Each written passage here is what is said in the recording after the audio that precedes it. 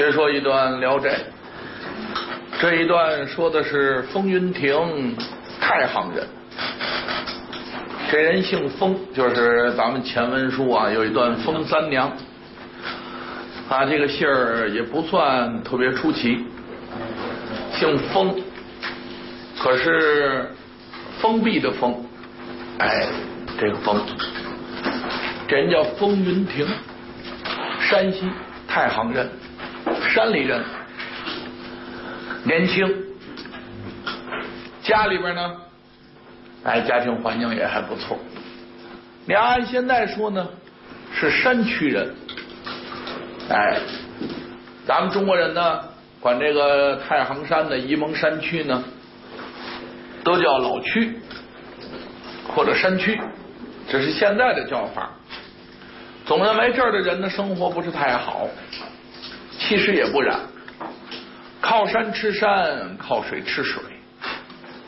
风云亭家里边呢，哎，过得就还不错，但是财齐人不齐，年纪轻轻的呀，丧偶，小两口结婚时间不长，这个老婆得病故去了，那么男人死了，老婆呢，很伤心，尤其风云亭。跟媳妇儿的感情啊，还是很融洽，两口子呀，感情非常好。现在这个女的一死呢，风云亭是睹物思人，新婚不久啊，看着屋子里边还有当年刚结婚的时候洞房的那个样子，看哪哪别扭。那精神一定是不好的，所以家里人呢也很着急。过去是这样，不孝有三，无后为大，男大当婚，女大当嫁。你到了一定年龄了，家里边家大人做主，就给你娶媳妇儿或者给你找婆家。男女青年自己做不了主。可是这回呢，这个媳妇儿死了，封家呢也看出风云挺难受来了，也没人好意思啊给他再张罗亲事，那意思让他自我排遣一下。说现代话呢，从这个丧偶的这个阴影当中走出来，但是他还是不能自拔，情绪十分低落。时间一长，家里人一瞧这不合适，老这样哪行啊？可就提出来再给他找媳妇儿。这一下，风云亭不乐意了。他对前妻呀，就亡妻呀，这个感情很重。虽然说媳妇儿死了一段时间，又是得病，啊，就是他的命，那没办法。但是这么长时间还是想念。他跟家里提出来，你们也别着急，我也不是不再娶，但现在我啊，真是不想再结婚。在家里不干，那你老大不小的，耽误不起啊。我呀，出去转悠转，咱们不在山根底下这儿住吗？我上县城太行去啊，我上县城里边住几天，换个环境。在身边的人呐、东西啊，都变换变换。这样呢，我渐渐的，我就把原先的媳妇给忘了。再回来，咱们再说。要不然现在这屋里啊，铺的、盖的、使的、用的，完全都是他的东西。家里头听他这个理论呢，哎，也可以。反正你自己能调节就是了。岁数又老大不小的，什么都明白。家里边不过是形式上的劝了劝，就由他自己了。那么他带着路费盘缠行李，可就进城了。到城里边住在寓所，赁房，可是现成的。这个地方呢，又不是说一般的私房，说你自己租这么一间房，打这你就长此居住，也不是。屋子里头啊，桌椅板凳啊，床啊，使的家具都现成的，可又不是一般的大客店，这是专门为进城参加考试的念书人预备的。说现代话就是大学生公寓。你来了以后，临时你租一个房子，你住不了那么长时间，可住店去呢又贵。这个在两者之间。没有杂人，基本都是念书的。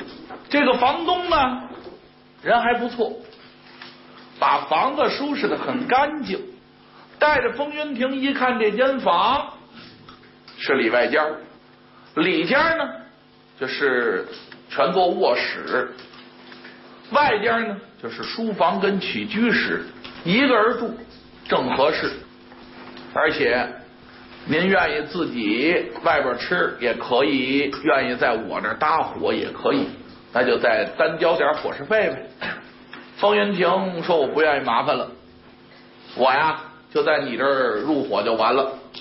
可是这个菜呢，我也不要求很好，就是你们吃什么我吃什么，跟着大伙儿也是个集体食堂的意思吧。那也做不出什么好菜来。”冯云亭是山里边出来，能吃苦。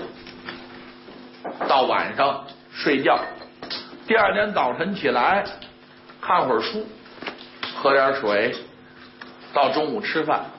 吃完了饭略有困倦，那意思啊，睡个晌午觉。可是躺在这儿呢，俩眼看着这顶棚，犯愣，并没睡着。他想什么呢？他想他老婆，感觉这换了环境啊，也不成。还想书中代言，就是因为风云亭这岁数年轻。那么他呢，正在百无聊赖，看着这个顶棚发呆的这么个节骨眼儿，突然间呢。有这么一道光，忽悠一闪，嗯，大白天啊，中午啊，是是什么事儿？他翻身给他起来了，他往屋子里一瞧，一切正常，什么东西在我眼前晃了一下？那会儿跟现在不一样，那会儿没有什么电灯啊、手电呐都没有，那就是太阳，太阳落山呢，屋里边点灯。点灯呢也很简单，就是油灯。可那会儿呢，您是皇上，他也是点油灯，只不过皇上家那个呢叫琉璃盏，他那个灯笼也高级，或者玻璃盏。他点着一个大蜡烛之后，本身亮度也强，热度也高，他得用多少宝石去照耀它，水晶的啊灯罩子。那样显得格外的漂亮炫目，而且增强它的亮度。而且皇上家用什么东西都是好的，都是大的。那么就是蜡，就这几种，没有再出奇的东西了。所以大白天的有一道光，他不知道怎么回事了。坏了，我呀，癔症了，这俩眼直离离。什么玩意儿忽悠一下，起来以后什么都没有。我闭眼吧，我别老睁着眼了。刚要往下歪身闭眼，那意思我躺下，这回我闭着眼，睡得着睡不着，我眯着。嗯，他往下一歪身，一掉脸，一看，这墙上啊，晃晃悠悠，似乎有个影在动。赶他这仔细一瞧啊，嗯，真是黑，不仅有个影儿，还是个人影儿，在墙上啊忽悠悠直动，自己使劲一睁眼一咳嗽，这影儿不动了，他站起来了，塌了着鞋，走到这墙根底下。咱说这屋挺干净，刷的挺白的墙。他这么一瞧啊，墙上有幅画，这画呢，可不是画在纸上挂在墙上，就在墙上有幅画，而且这个呢，忽隐忽现，是由墙里边往外映，就跟咱们现在看幻灯那意思似的，是个女的。一个女人的图像啊，在墙上直晃悠，若隐若现，若明若灭。这可发了，墙底下大概有聚宝盆，金马驹子站银人儿我要走运，想媳妇想媳妇这墙上画一个，怎么个科技呢？为什么他能一会儿有一会儿没有呢？这还不知道。瞧得出是女的来，眉目鼻眼还没看太清，为什么？她若隐若现吗？那男女还是分得出来的。他紧着把脸往墙上贴，瞪着眼睛往墙上看，嘿，赶的也离着墙近了，也看清楚了，这墙也清楚了。突然之间，这个女子的形象十分的逼真，那意思恨不得呀。就从墙上要出来似的，突然间这一清楚，他这么一瞧啊，哟，怎么回事？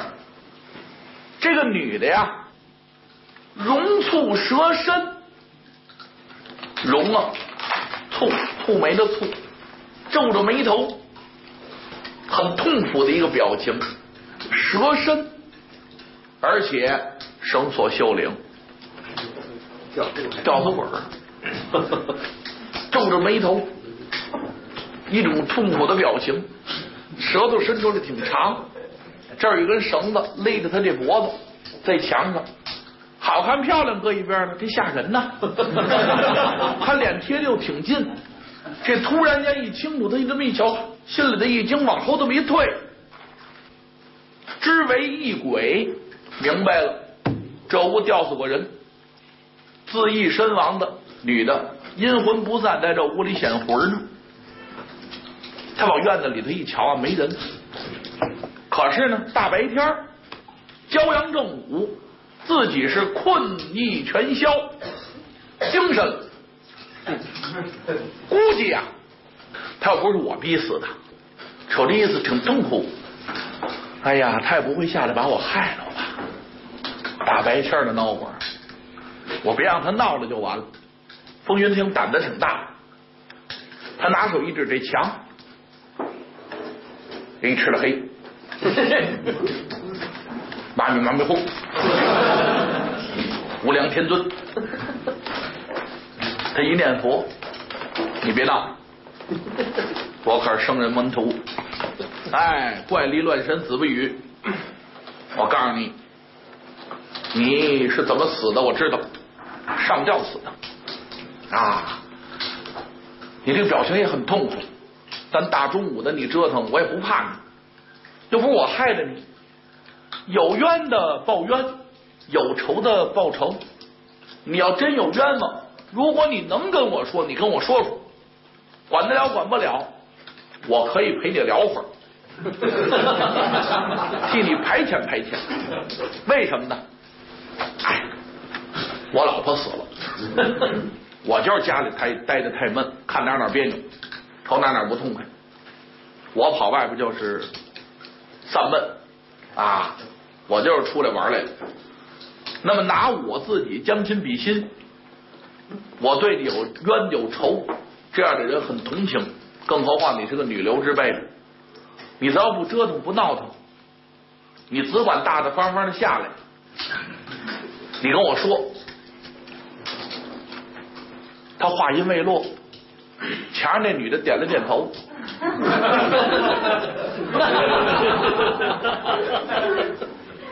一迈腿儿顺墙上飘然而下，真下来了。风云亭，疼，当冤了，往太阳地儿一站，一瞧，自己完全都暴露在阳光之下了。张嘴刚要喊，干嘛呀？喊这个东家房东，你这可没有，你这无闹吊死鬼儿，你不演演？看我年轻火力壮是怎么着？昨晚上没闹，大白天闹，照样收房钱一分不少。你这可太难了，我把你找来好好问问，你知道不知道这档子事情？另外，是鬼是神的，我也不能让屋里他把我害喽。他张嘴要喊，屋里这个吊死鬼急了，摆手，别让您请进来。我跟您说两句话，哟，还能说话？一掐自己腿，不是做做梦，是真的。一脚门里，一脚门外，死着门槛这儿，不许踩门槛，那管不了了。你要是害我，我赶紧跑。你说吧，您刚才说我是吊死鬼儿。我要有冤跟您说，您能帮我吗？嗯，哦，真有冤，帮不帮你都不敢说，尽我的全力。我就是可怜之人，那么你想必呢，也很可怜。那么你有什么冤，你说出来。你说出来之后呢，需要我能做什么，我尽量去做。这个女鬼把头一摇。说您看我呀，跟您是萍水之人，萍水相逢，素未谋面，咱俩不认识。那么我有冤，我有屈，我跟您说，您就替我这样去报仇报冤。第一，我张不开嘴，我求不着您；第二，恐怕您呢也没有这样的力量；第三，我也不好意思跟您说。这个事情很蹊跷，但是自从我死了之后，我这个魂在地下，我是很痛苦。为什么呢？蛇不能缩，锁不能除，我这舌头回不去，因为我是勒死的。当时上吊死的时候什么样？后来还这样。嗯那我这个锁呢，就是勒的这绳子呢，也摘不下来。现在呢，我的活动范围啊，就这屋子里头。那你怎么不转世投胎呀？我不去。我跟阎王爷说了，我有冤。阎王爷准许我留在人间报完仇，再转世投胎。而且阎王爷说，会有人替我报仇雪恨的。日后我还能还阳。不，是啊。哎呀，我这也有点事儿。憋着让他还阳呢，那么要真能还阳，可我媳妇没冤呢，我媳妇是病死的，该看病看病，该抓药抓药，我把心都尽到了，那他还是死了。那日后我不成托这个吊死鬼上阴间替我打听打听，我媳妇能不能回来？我媳妇要能回来，我就不用再娶别人了。嗯，还真有阴间，吊死鬼能说话，好吧？那你跟我说了这么半天，你不打算替让我替你伸冤报仇？我能为您做点什么呢？您进屋来，我没有坏意。是是是，风云亭迈步进屋，这个女鬼是盈盈下拜，皆因为我舌不能缩，锁不能除，那么您帮我一忙。您找这房东商量商量，断无梁而焚之，恩同山岳矣。您就帮我办这点事儿，把这房梁啊，您给它锯下一块来，然后您拿火烧了。那么我在阴间呢，我这个绳索就除了，绳索一除，我这舌头就能缩回去了。就这么点事儿。如果您能帮我办，恩同山岳。这是大恩的意思吗？嗨，我倒多大点事儿，行，这我能办，您准能办，准能办。我把房东找来，因为他理亏着呢。这屋闹鬼，他知道不知道？他知道，他还让我住。我拆这一间房梁啊，算对得起他。我应该把他扭送衙门。哦，是。那您可答应我了？答应了。就这么一点头，再一抬头，这女鬼回墙上了。诺之碎灭。他这一答应，再找这个吊死鬼没有了。走啦，行，找房东去。到房东这屋一敲门，房东把门打开，嚯，风秀才，您缺什么？缺德。哎，您这叫什么话啊？不是说我说你呢？说我？我什么事缺德？哎，上屋里，我问问你。哎。把风云亭让进来，俩人往屋子里一坐，我哪点对不起你？你装什么糊涂？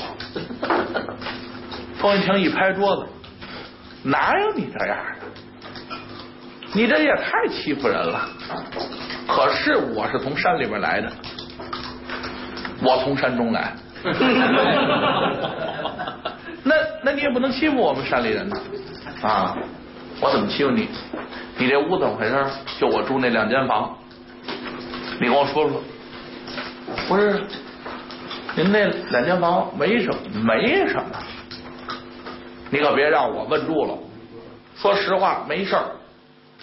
要不然我把你扭送衙门。我告诉你，屋里那时候可都跟我说了。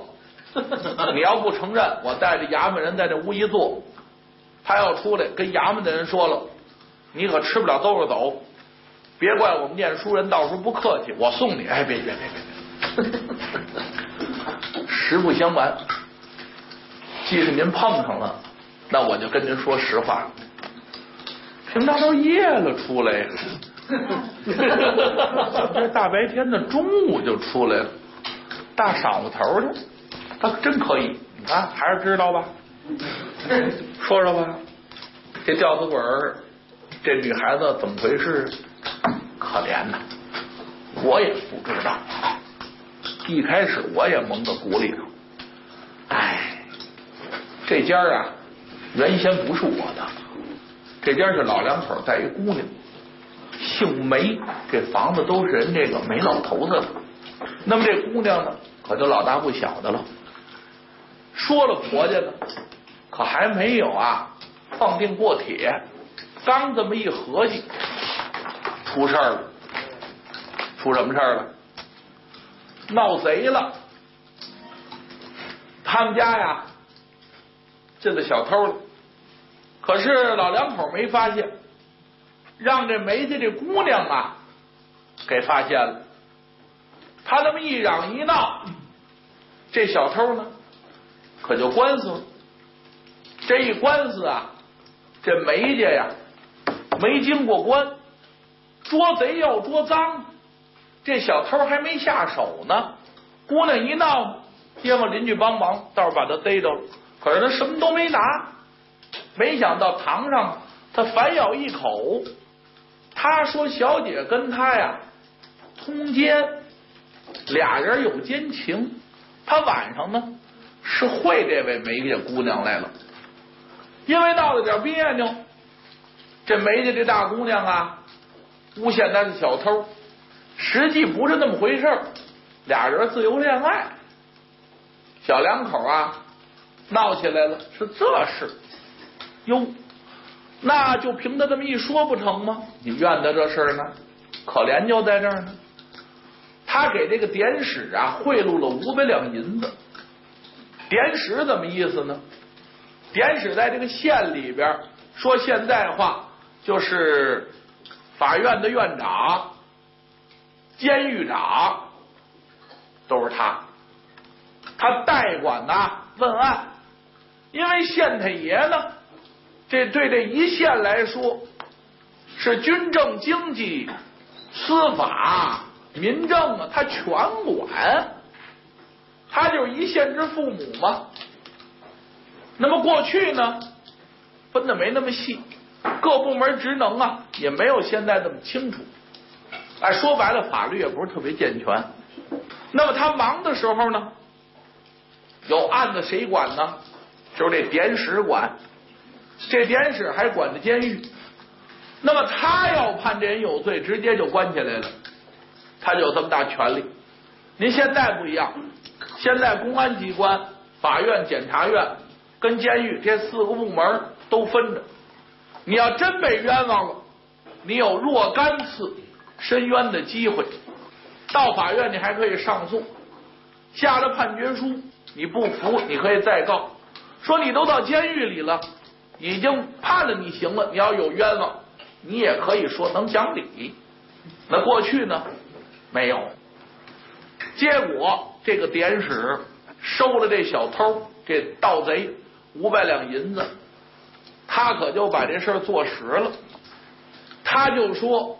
梅家姑娘跟这小偷俩人有染通奸，说说这您可听明白了？这个典史后文还有，他叫什么呢？原文写典史某，这您就明白了。那常听我说《聊斋》，您就知道他怎么样了。这人没名没姓，不配，没有资格有名有姓。那么咱们后文书要说。没准我给他安个姓要不然啊不方便。老是典史某、典史某的这么说呢，也听得闹得慌。典史是他的官名，就跟那个三国里那督邮似的，也没准我给他加个姓那他姓什么呢？那就看我恨谁了。过些日子呢，卓比说啊，出什么事了？我恨上这主了。我说的这典史该出来的时候。我就让他姓什么，哎，说您各位当中，万一要有跟这位同姓的呢？这咱们先交代交代，您别恨我，我跟您各位没仇。要实在到那会儿找不出仇人来呢，我就让他姓刘，因为我们蓄水这伙计姓刘，别人我都惹不起，我只能惹他。跟您各位姓刘的没关系啊，您那刘跟他也那刘也不一样，同姓各宗。您是汉室宗亲那刘啊啊！你是小刀刘那刘，东华门外头管善行的那位，你知道吧？你是他的后裔，你知道吗？法门寺有刘媒婆，哎，那是你们姑祖，知道吧？哎，这个。咱最好别给他加戏儿，咱别破坏《聊斋》整体的这风格。就给您说，您就清楚。咱们这儿交代交代，后边关于他的事情还很多。这个典史收了五百两银子的赃，断了这么一个冤案，可就下了这么一个当时说吧判决书，把梅家这老两口可就传来，当堂这么一说。当然，梅家老两口不能承认。堂上这么一喊冤，那么好吧，就把这个梅大姑娘下传票，要传到公堂上前来对质。姑娘羞愤交加，得了这消息之后，自然不能上堂。你要搁现在是一定去的。你冤枉我，到法院讲理去，就是不去。也得委托出来委托人律师到那去讲理，不可能说黑不提白不提这事就算了。现在您要有冤，法院下传票，您要不去还麻烦了，缺席审判。你自己的权利你不主张，那么全人那边的理。三次传唤不到，法庭开庭了，到时候缺席审判，你判决书下来可就不容易更改了。所以现代人呢都有这种法律意识，保护自己。过去的女孩子不能抛头露面上堂打官司，但也有。你要听真骨三验，姑娘带着剪子上堂就没憋着活着，到那儿去让你们看我是不是黄花大闺女。看明白了，你们诬陷我怀孕，跟别人有染通奸，那么你们长着眼的世人就能看出来我是黄花大姑娘。这事说明白了，我可也就不活着了。抱着必死之决心，把你们全都告去，有讲理的地方。所以你要听征古三验，他要想去就没想活着。这姑娘呢，心更窄。没的姑娘啊，在家可就上吊了。您屋里头这吊死鬼儿，可就是梅家这姑娘。我是后来的，皆因为这梅家姑娘一上吊，倒是表了他的心了。可是没人上那去治罪去了，这个得道，他可也就无罪开放了开释了。梅家老两口子受这个冤枉，又有丧女之痛，心里那么一凹头，是相继身亡。好好的这么一个院子，一家子人家，眨眼之间就家败人亡，皆为这么一个。鸡鸣狗盗之辈，一个小小的毛贼。哦，风云亭一听，那么您呢？我呀，哎，我是多少年之后才搬来。这姑娘死了得有十来年儿，哎，七八年儿我才来。当时街坊邻居也没跟我说，我也不知这事儿。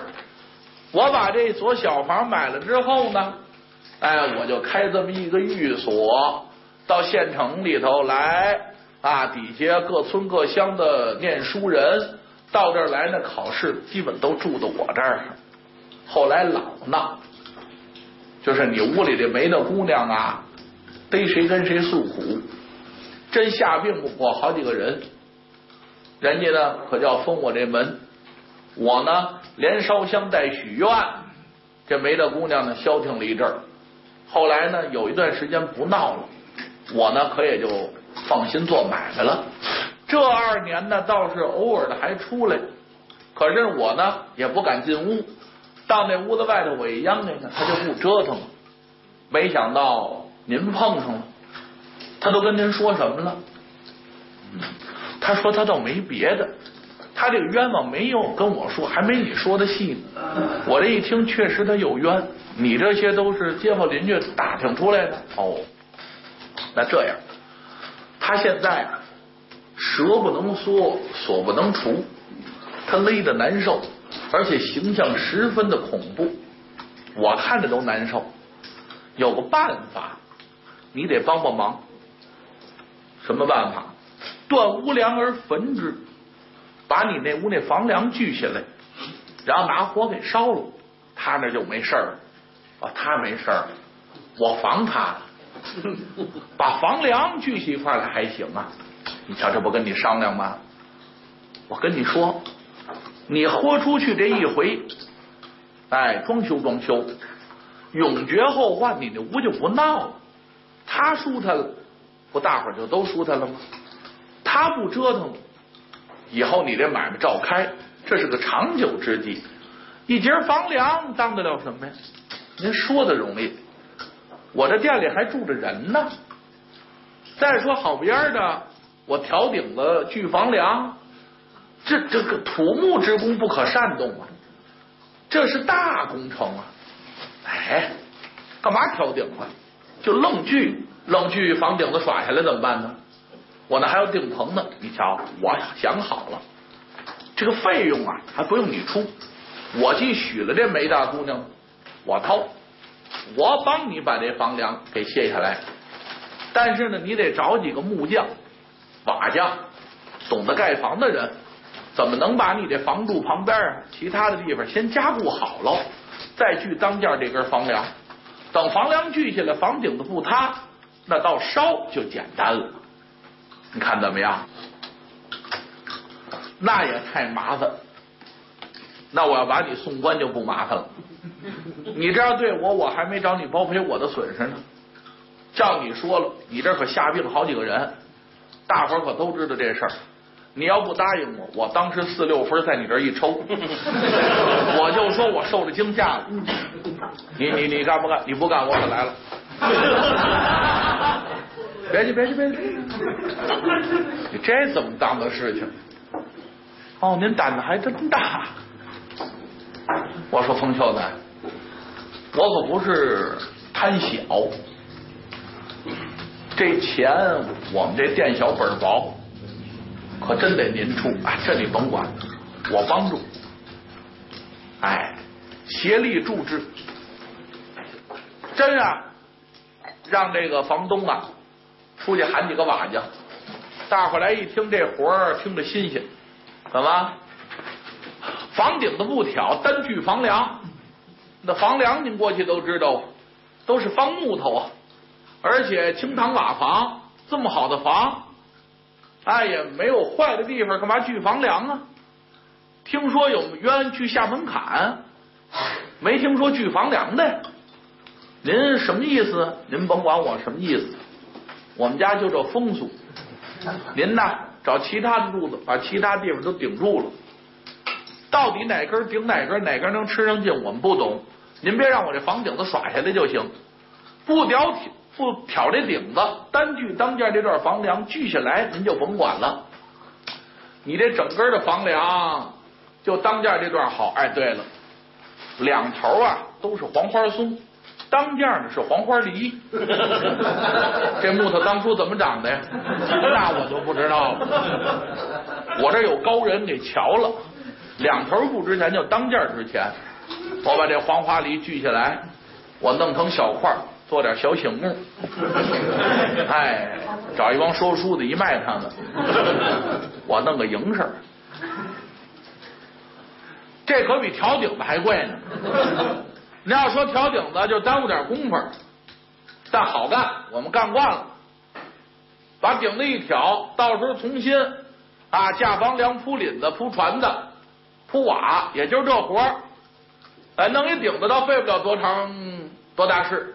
您这个可麻烦，而且废料，得找好多木头把您这房子都顶住，要这顶子真下来了。是啊，就说的是这事儿。呃，得了，您费心吧。真应了，那么暗中呢？可是风云亭给拿钱，瓦匠们到这儿啊，一进料，这个活儿呢，你别看花钱不少，这要干起来也简单。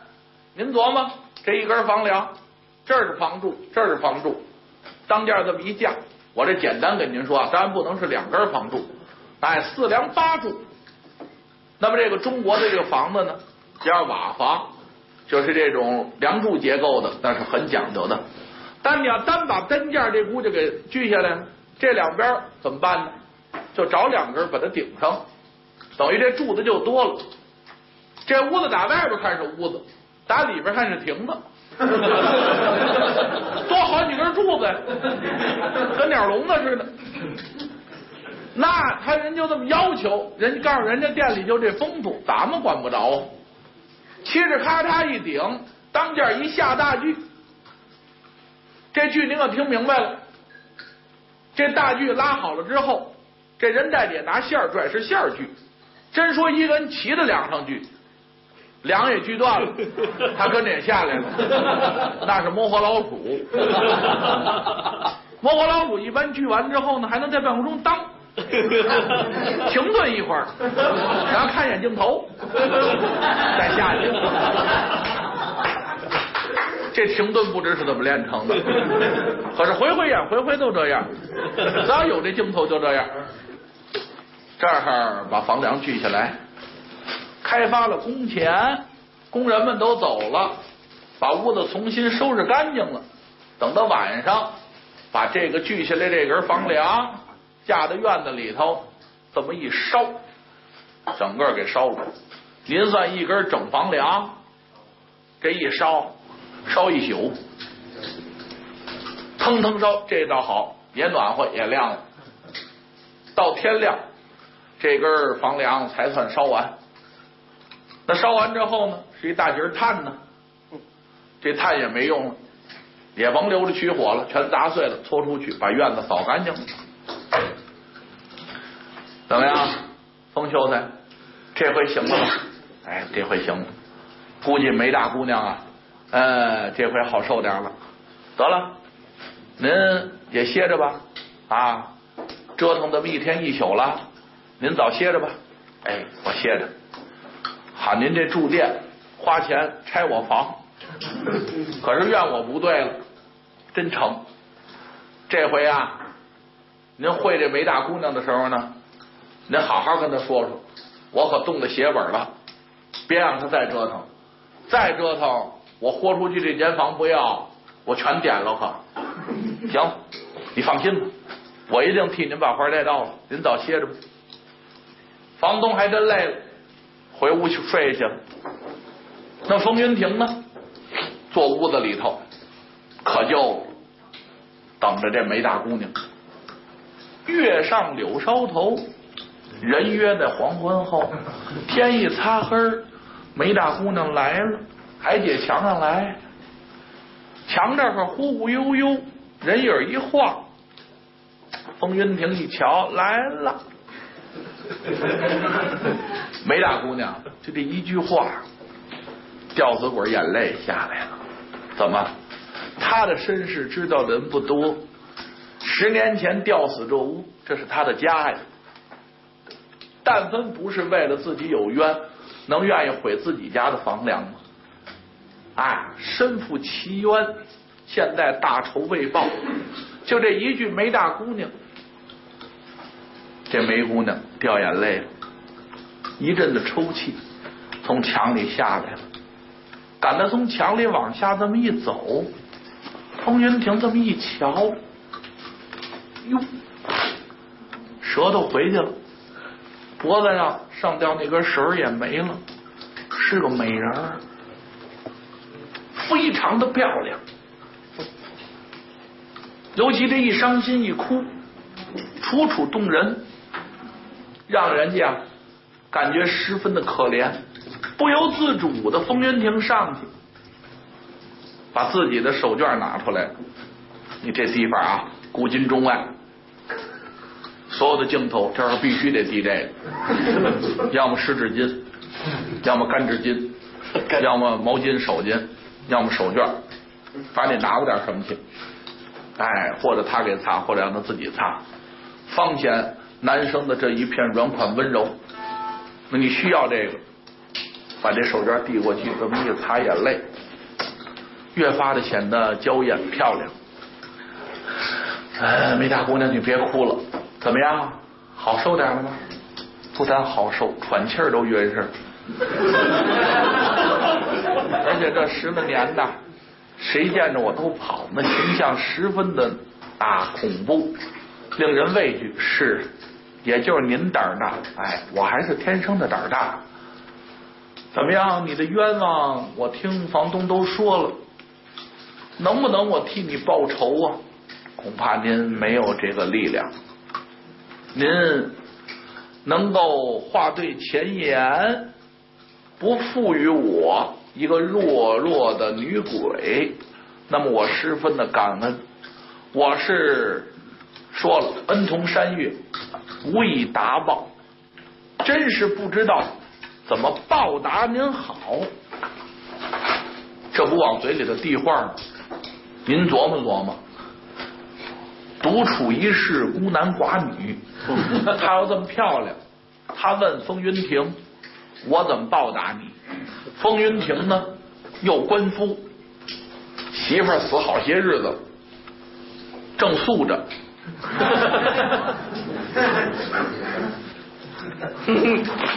你打算报答报答我啊？您您您说怎么着吧？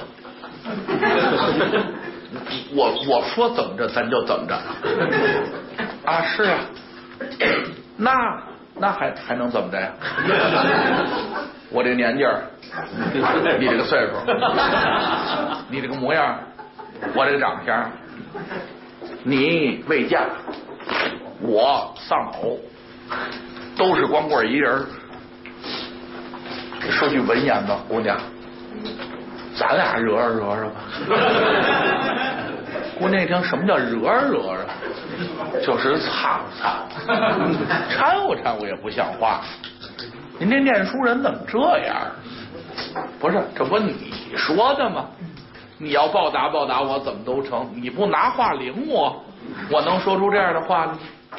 欲求欢，这地方您看啊，施恩图报。他不配有字，不配有号，他就有名字，叫风云亭。这是蒲松龄写《聊斋》时候非常讲究。而且我要给您说《聊斋》，咱们必须要这理论得站得住。您分析他这人，他这样想媳妇儿，应该是很独情、很专一的这么一个人。但是呢，他想媳妇儿那些举动呢，现在一看全是假的，他不是真想媳妇儿。那相爷媳妇儿死了，他一点也不难受。这瞅见瞅那姑娘漂亮的，马上就见异思迁。而且他救了人家呢，人家打算报答他呢，他提出来求欢这么一个条件，这就叫施恩图报。虽然你办的是好事这姑娘也乐意，但是如果真成了事实，那么这人格可就下来了。所以蒲松龄给他起名字风云亭，他不配。再有其他的字号，如果这人姓名字号全有，那么在《聊斋》这里边，甚至有用真名实姓的，那一定是歌颂正面人物。像刚才我跟您说，这典史某一定是行为很恶劣，都不配有姓，他姓什么都不成，姓什么，蒲松龄都觉得对不起人家，那就是某某人，某甲某乙，就这个。姑娘一听，脸红了，而且有点为难。你说的想怎么着怎么着，你要报答人家，人家提出来了，你要说一扑了脑袋不成，那这个话也说不出口。而且人家确实救了你了，你多少年勒的这个死了当鬼，愣勒了十年，现在你的痛苦解除了，应该报答人。自己也不是不愿意以身相委，但是人爹说出这个话很好。说我不能跟您做这样的事情，嗯，你觉得我长得配不上你，还是我这人哪儿配不上你，还是你觉得我为你做的还不够？都不是。既然说了恩同山岳，我求你，那么些人都吓跑了，我求了多少人这屋，下病好几个都不管我，这店主都天天央给我上城隍庙告我去，勒着我不让我出来。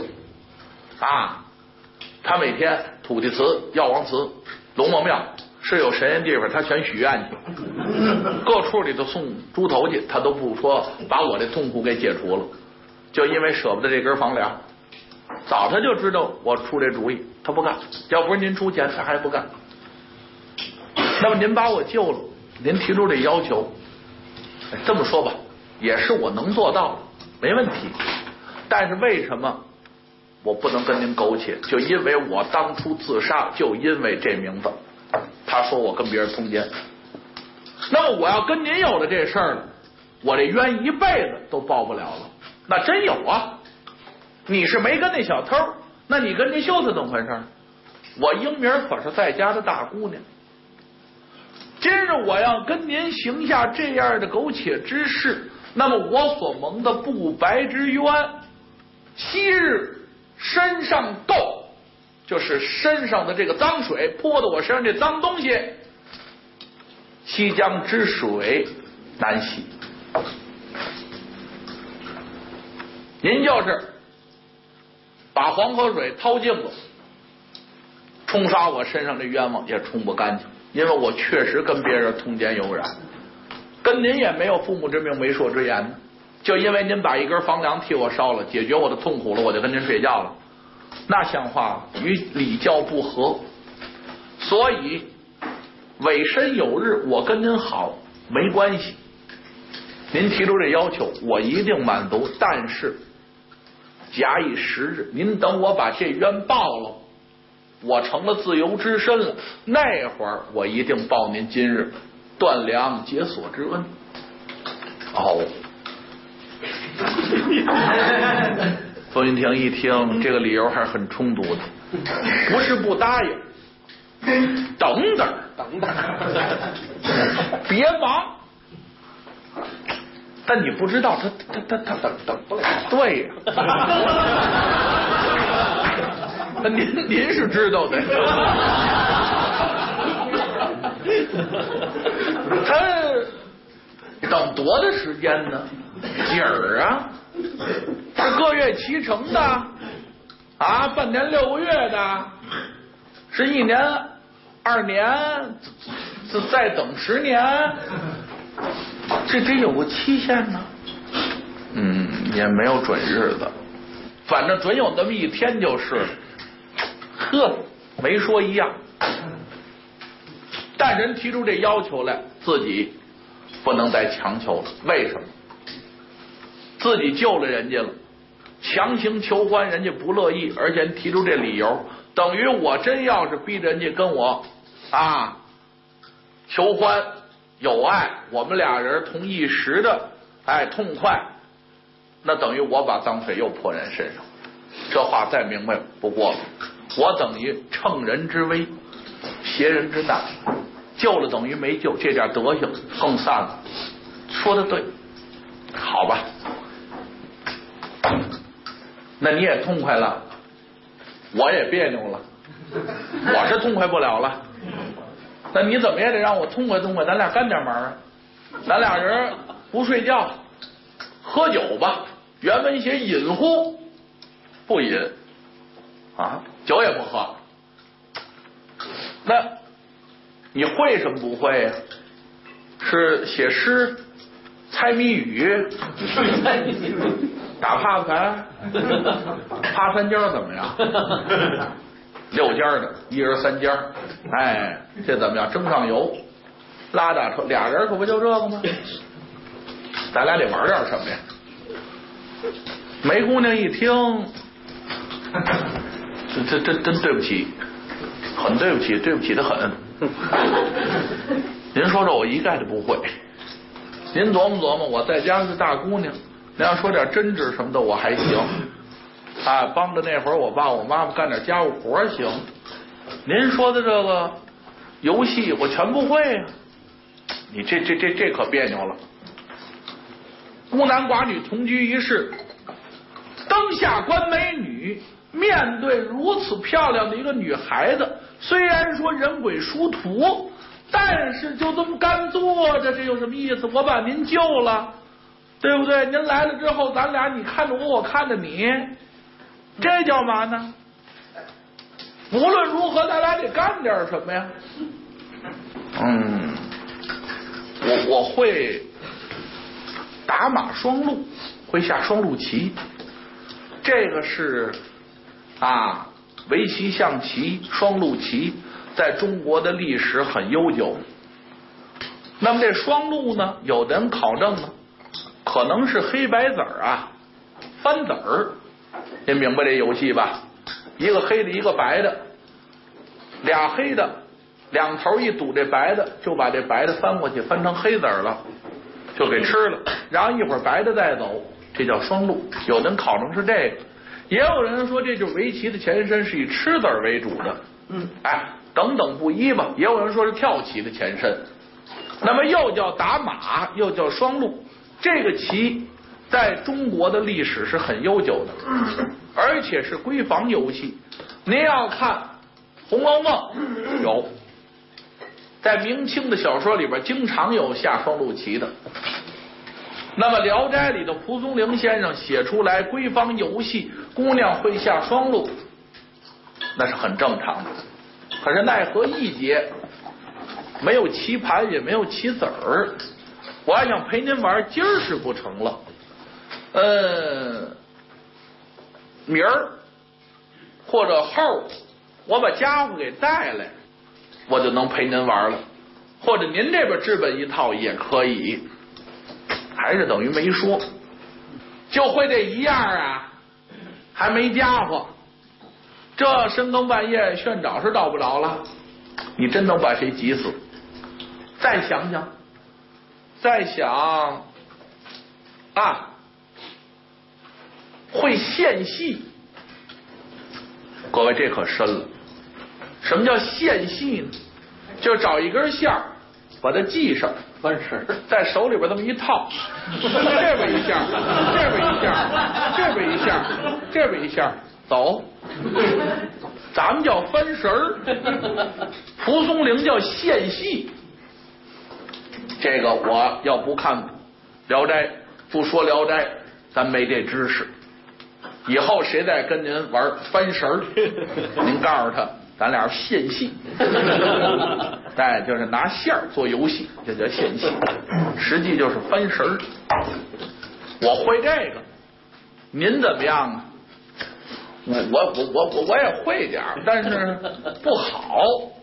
我我我翻不出几样来，我就翻不了了。嗯，这样你要会这，咱俩这也行。不成，你教给我，那行。线儿您这总有吧？没有，从身上线蹬都行啊，有衣裳吗。蹬这么一根绳子，两头一系，俩人玩上这翻绳了。姑娘弄好了之后，风云亭过来，哎，我先来茅坑。姑娘说：“我来面条。”俩人玩上了。风云亭怎么样啊？三步没过去就翻乱了，打头来，姑娘这一教他，姑娘告诉他：“您哪手指头勾哪哪哪怎么走怎么走。”哎，这么一教他，风云亭这么一瞧啊，嚯！这姑娘，你别看刚才说那些游戏都不会，这个着双陆棋水平在什么上也不清楚，但就这个。线戏翻绳就这一项可了不得了，欲出欲换，而且是变幻无穷。就说他手里的这个翻绳样多了，我呢，小的时候看别人翻这个呢。因为我就知道什么茅坑面条啊，降落伞好像还有，这不还有什么？您各位知道，大概也就是七八样，我估计十来样也就到这儿。那么《聊斋》上说这姑娘这样可多了，而且您往后听她自己对她这翻绳的评价，她这个翻的一多，风云亭眼花缭乱，不觉得这个时光过得很快，跟他学了好多新鲜的花样。不由自主的赞叹他，跟这个梅姑娘说说：“哎呀，梅大姑娘，别看小小的一个县戏，就这么个游戏，到你手里头神了。此闺中秘技耳。”同志们，您可听明白了？这句话是一个性的挑逗，他实际说的还是求欢的事儿，假借着这个说那个。咱们现在因为说书能说了，过去这点不让说。这句话的实际的含义是这个：此闺中秘技儿，哎，你在闺房当中，你的绝活，你的绝技。姑娘呢，她没有这个概念，等于风云亭的弦外之音，她并没有听出来，而且呢，就即便听出来，他故意的不往这儿去想，也不往这儿引导。因为他知道风云亭对他有这意思，提出这样的要求，那么他必然不能顺着风云亭说。姑娘说，有一些就是他对自己的这项游戏的肯定。他说：“我跟您说，我这个什么闺中秘技呀？那么就是自幼啊，无知。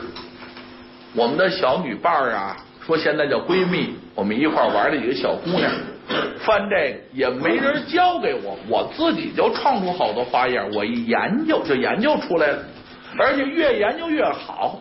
现在我会多少花样啊？我都不知道了。但以线与之，你就给我这么一根线，既能成文，这可深了。说就能组出字来，不是这意思。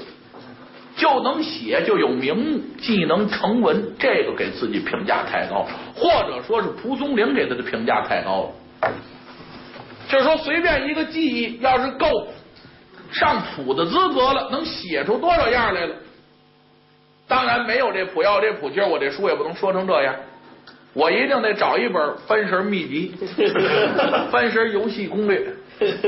我先在家弄根绳子，我先研究多少样，是不是？到这儿或者我带一样道具，我跟您各位这么一翻，既有互动的效果，又能把这段书说明白了，那多好！西湖这书也没有，我也不会。那么我理解就是随便一个事儿，很简单的工作，哎，就拿这个开车来说，你没本就不让你开，你无师自通，你会了也不能让你开，必须有驾照。有繁琐的一套手续才允许你上马路呢。那么这个熟练公主看似很简单，现在会开车的人多了，但是她能落到纸上，而且出法律、出条文，有一套固定的哎程序来完成它，这可就深了。甚至于说，这就是经典，这不能移动。虽然各国的交通法对于开车的规矩左右驾也不相同，但是大概也都差不多，一通百通。你说一个做饭炒鸡蛋有什么呀？能上菜谱，这就深了。都炒鸡蛋，为什么人炒出来就那么嫩，就那么香？这位炒出来不是咸了就是淡了，要不就老了，不好吃。看似简单的一样东西，研究到一定份儿上，可就上了谱了，就这么个意思。蒲松龄给梅大姑娘的评价：你只给我一条绳子，一根线，既能成文。嚯！风云亭一听说你胖，你还就喘上了，哈哈！罢了，今天我开了眼了，嗯，而且你这鬼厉害。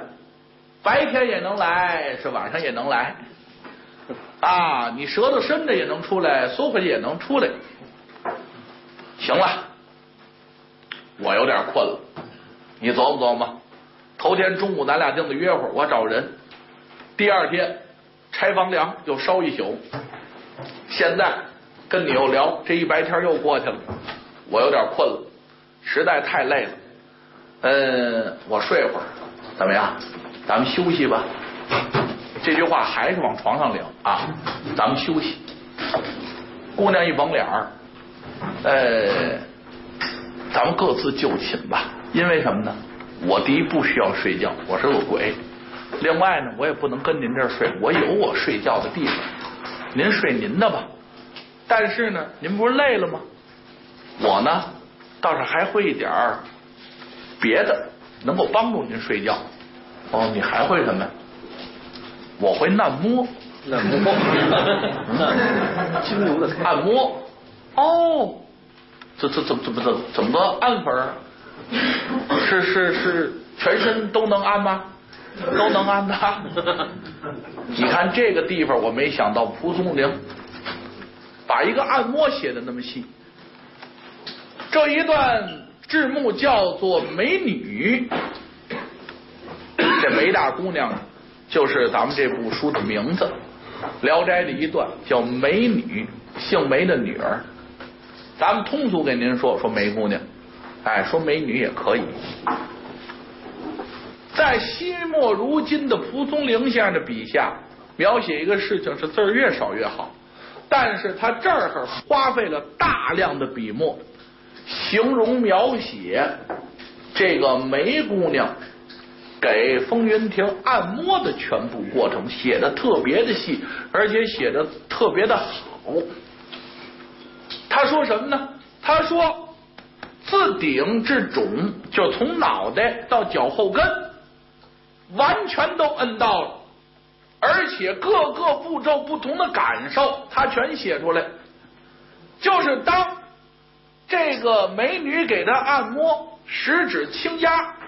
哎，合掌轻压的这个过程，摁完脑袋，摁到肩背的时候，已然口目皆呆，失去感觉了，沉沉欲睡了，已然全身心的放松，十分的享受，非常之舒服了。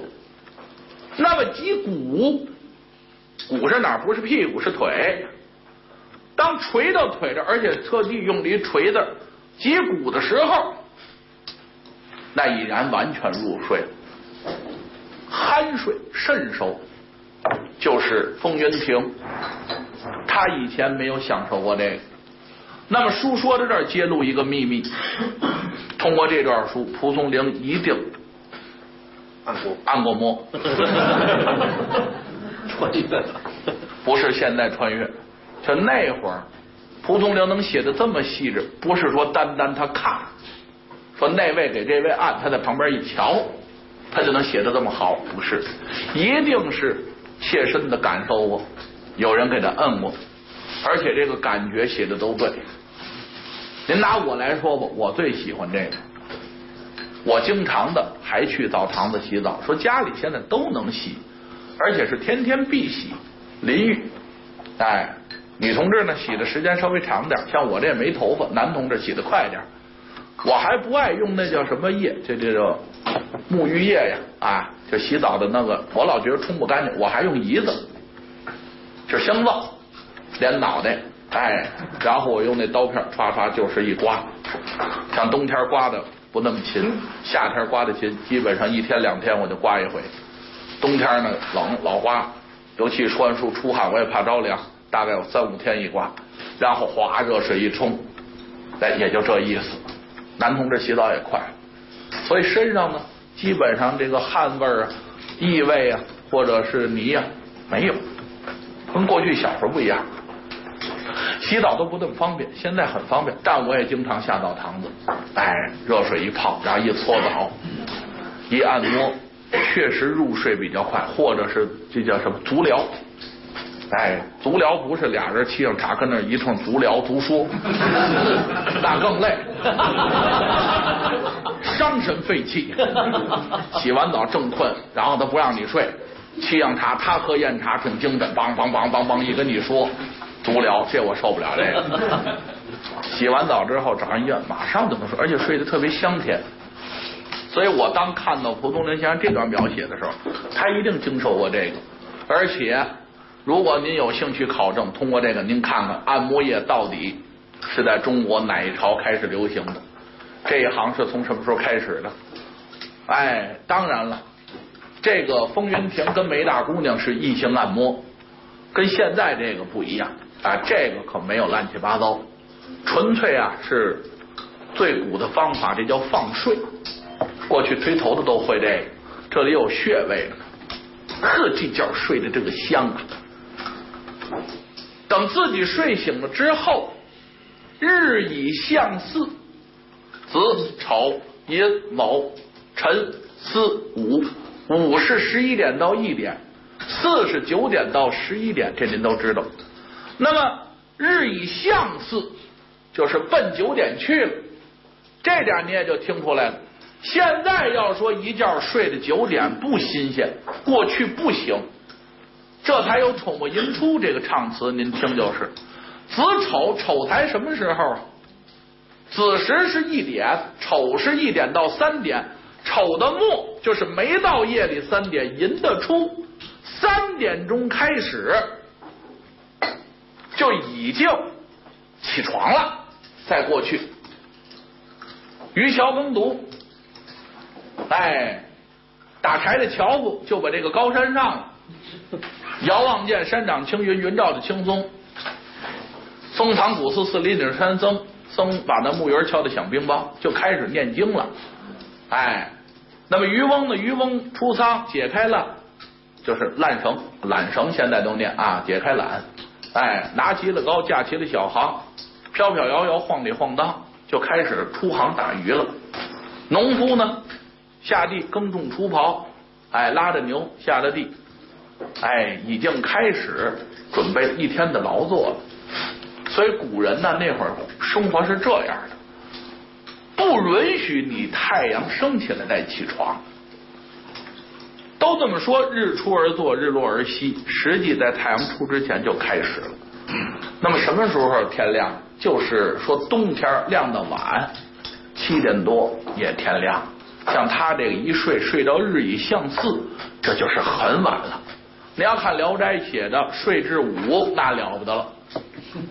中午再起，那很少了，很个别了。所以蒲松龄单独的写，他受到这么高级的享受，睡得这么死，这么甜，这么香，才睡到九点钟。日以向次，起来了，起来头一件事，也不漱口，也不洗脸，趴在西墙上捶这墙。梅姑娘，你起了吧？你醒了，咱们出来聊会儿。分神儿，分神儿，分神儿，一通的喊，嗓子喊的挺哑，也没漏。嗯，哎呀，房东来了，昨天怎么样？见着了吗？见着了。哦，聊来的啊，聊来的，都聊什么了？把你交代事都聊了，打这儿他肯定不折腾了。嗯，然后呢？然后我们俩玩了一宿啊，玩什么玩一宿啊？翻神儿，翻神儿能翻一宿啊！你别瞎走，嘿，你瞧，你不知道，这梅大姑娘能翻出二百多样来，一宿没翻完。跟你说，这是我困了，我要不睡觉，我们俩还接着翻呢。明儿啊，我把她的样子我都给你画下来，你就信了。那我我也不行。哦，那这以后您走了怎么样啊？我先不走呢。这么漂亮姑娘，而且我们俩有约会，你甭管，短不了你房间就是了。呃，除了吃饭呢，晚上啊，给我加俩菜，预备点酒，拿一棋盘来，我们还要打马双路，还要下棋。嘿，真会玩儿嘿！别人坐这房吓病了，都跑了。外边一嚷嚷，差点给我这封了门，告诉我这出妖精，有吊死鬼儿。您来了，不仅给我镇唬住了，你们俩还玩上了。您再想想主意，给带走怎么样？我这是永绝后患呢，暂时还不行，一步一步来。我还真有这心，我们俩的事儿你就甭操心了，让你干嘛你就干嘛。是是是。到晚不晌，房东除了他每天的伙食，加俩菜，哎，预备点酒，棋盘棋子全拿来。往桌子上一摆，这个菜跟酒，可是完全的没动。为什么？等着梅姑娘来。梅姑娘怎么样？还真来了。呵，我说啊，你太难了。白天我这通喊，你又不是白天出不来，怎么不燃我这茬儿啊？我这一天真着急。哎呦，我跟您说，您有您的事儿，我有我的事儿，我这不舍得能回去了吗？我先得去趟阴间见阎王爷。原先我说话说不利索，因为我长舌头。哦，这回利索了。对呀，原先那意思也能听明白，但是不能完全表达我的意思。我呢，现在重新又说了一遍。哦，那你这冤枉。看这意思有点细，但是现在还不能完全的报，完全的说。呃，这跟您没关系了，您也甭打听了。我也知您等着我。您看看，酒也凉了，菜也寒了，这会儿要再热，可也热不了了。哎，我都没动。你别看寒酒凉菜，但是绝对是今天新做的。你要不嫌凉，咱们俩喝一口。行，我倒能陪您喝一点儿，因为昨天问了饮乎不饮呢。哎，我倒一点意思的，您喝您的，好吧？俩人这么一聊，一喝这酒，酒，色之美，酒能乱性。男女两个人坐一块儿，一喝这酒，你再说下棋，再说翻神儿，他可就不乐意了。喝着喝着，这酒劲儿上来了。昨儿您跟我说，咱俩这档子事等着有日子，准有日子吗？啊，到底什么时候？您跟我说说，我老跟这儿住着也不是事儿。另外，有没有可能带你走啊？回家呀？虽然说你是鬼，我是人，但是我是真喜欢你。你呢，知道的事儿比我多，阴阳两界都能来，都能去。到底是怎么个意思？你跟我说说。梅姑娘一听，嗨，您这人怎么了？你怎怎么这么啊？好色，贪杯喝点酒。您又提这个事情。昨天我跟您说了一个是我自身的这个问题，我不愿意这样。日后我报了仇，我一定跟您。第二呢，您身上沾了我的鬼气，于君不利。因为人跟鬼，这您都知道。如果两个人啊行下男女情欢之事，对这个鬼有益无损，对这个人可是大大的不好。这个咱们所有的《鬼狐传》里边啊，影视小说里边都有。那么我跟您还是暂时的，咱们别提这个事情。可是呢，您这意思我也明白了。哎，这么办吧。我给您出个主意，您看怎么样？有差对就行。这地方人可就瞧出来了啊，就是风云亭他不配有字号，也是因为这个啊。确实他好酒贪色，我先找个替身怎么样？怎么个替身？嗯，我给您找一个妓女来，是我的朋友。这个人呢，能够解您的燃眉之急，但是呢，您也不用给钱，因为呢，您与我有恩。他呢，也不是为了赚钱，呃，他跟我是朋友，我把他找来，咱们仨一块儿玩儿，哎，下棋、聊天、喝酒，他也能喝。回头呢，您要真是闷得慌，我走。让他陪您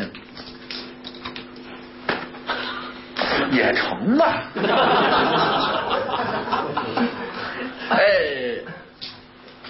今儿方便吗？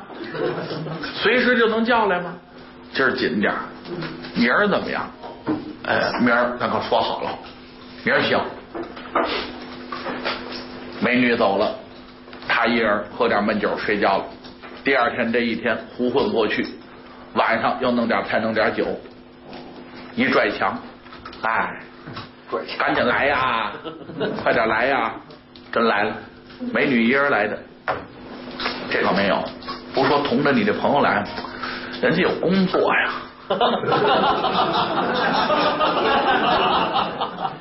您再等等行不行？等人下了班。下班下班得两点以后了，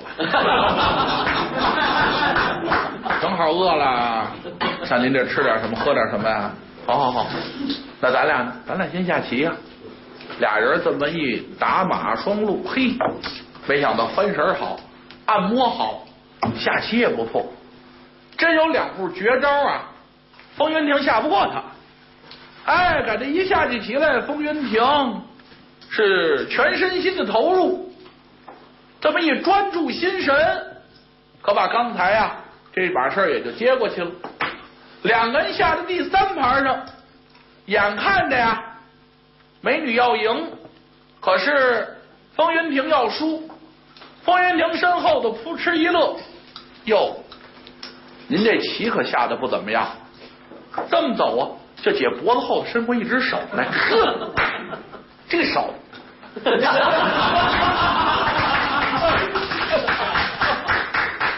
看见这手就看见这人了，又白又嫩，损指藕色藕肤啊，呵，这个手非常的漂亮，用手一指要走这步，风云亭拿着棋子往这儿搁棋，可顺着这手就往回瞧。一瞧，身后站一少妇，年三十已，就是将近三十，哎，不到三十。您可听明白了？这个跟美女岁数差不多，但美女是黄花大闺女，这是少妇。美女呢，死了以后十来年，还是自己十几岁那模样。虽然也二十大几，快三十，但有十年是阴寿，不能算。这个可能死的时候就是二十七八的少妇，什么时候死的不知道，反正现在还这模样，看着是不到三十岁，漂亮，穿着也妖艳。这个地方叫做梅留木畔，隐有荡意，写的很清楚。这是蒲松龄已经告诉了她是妓女，这地方还对她有这么八个字的评语。那么她不是一个守本分的女人，自有当意。她来了也是美女说好了，为了哎愉悦于风云亭来的，所以打站在这儿，对风云亭是勾肩搭背，就是把手往风云亭肩头这么一搭，风云亭受到美女的按摩是浑身舒畅，沉沉欲睡。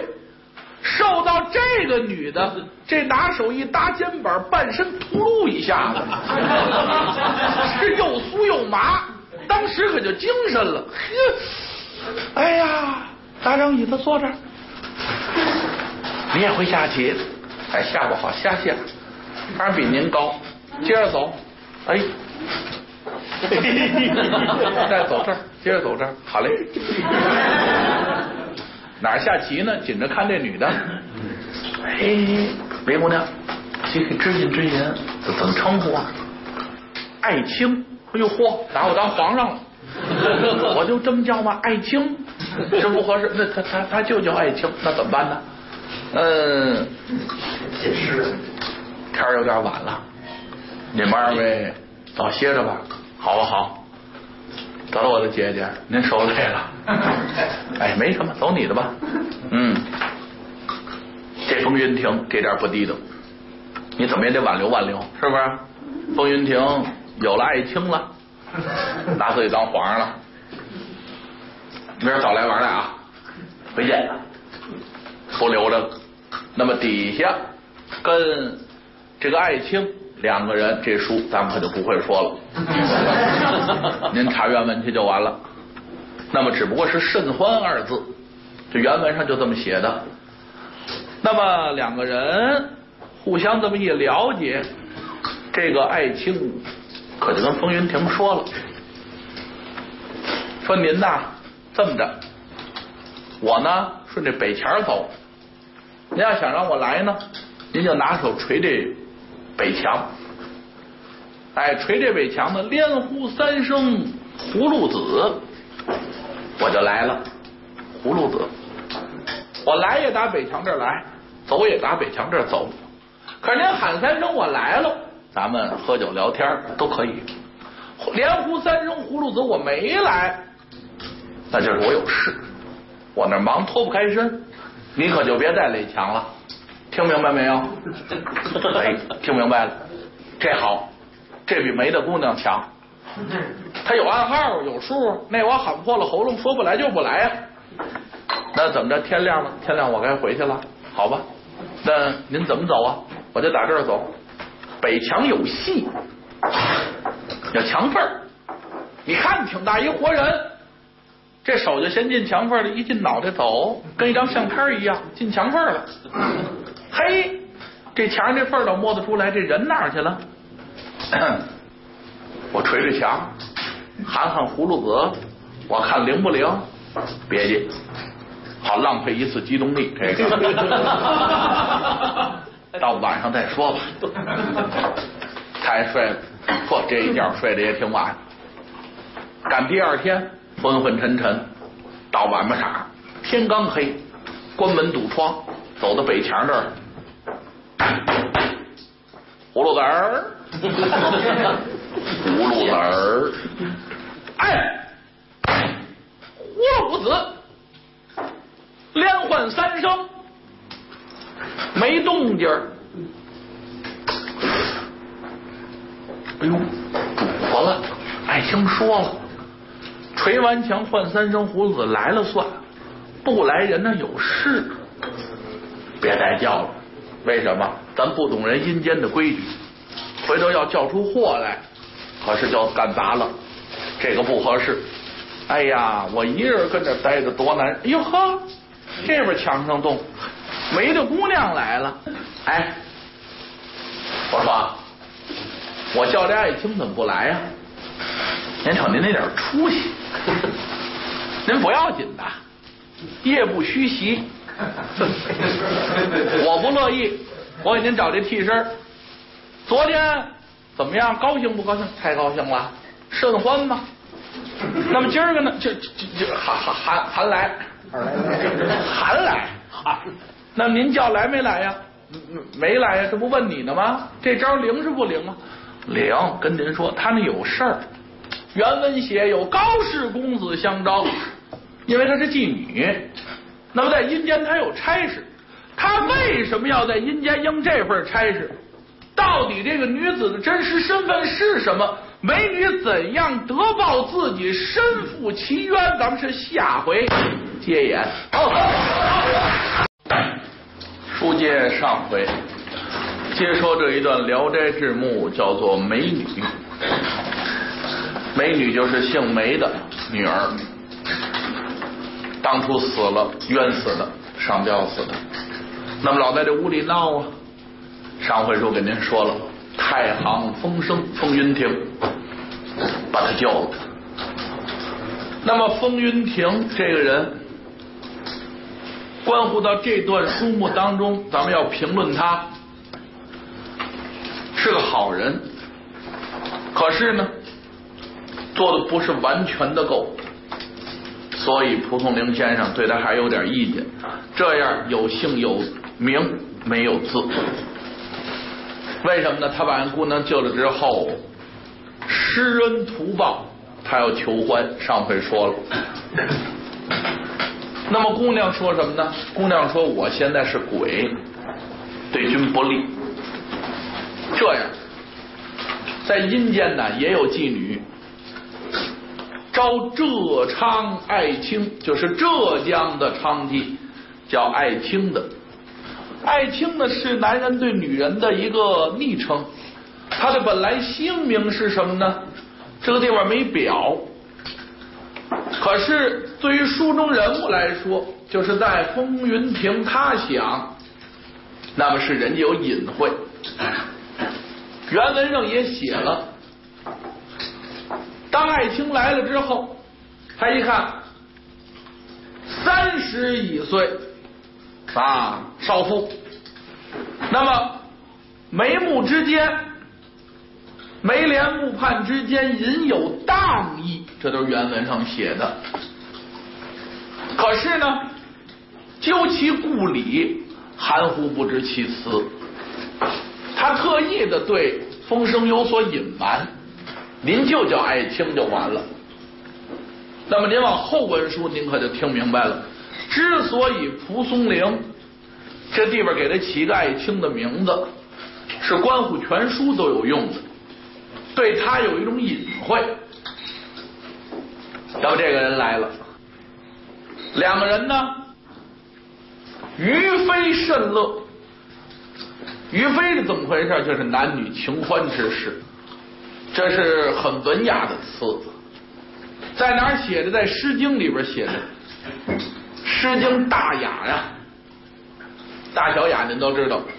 大雅里边有这么一篇《凤凰于飞》，这是凤和凰，他们两个人要交配，是在飞行当中。凤凰于飞，所以引用到日常生活当中啊，中国的封建礼教。是很严格的，所以这地方写二人于飞甚乐。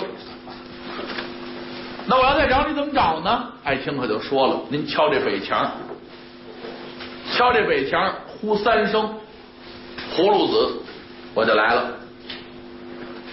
可您敲三声，我要来了，就算来了；连呼三声不至，我没来。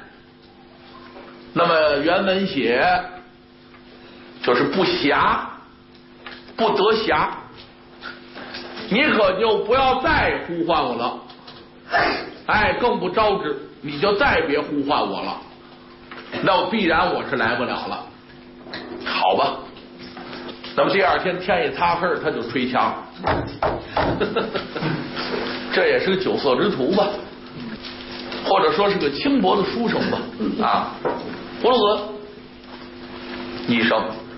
葫芦子两声，葫芦子三声没来，再想叫一琢磨，昨晚嘱咐了，连呼三声不到就别叫了，等着吧，等谁来？美女来了，见着美女他得问呢，说你们这个这个这个这个阴间这鬼是不是？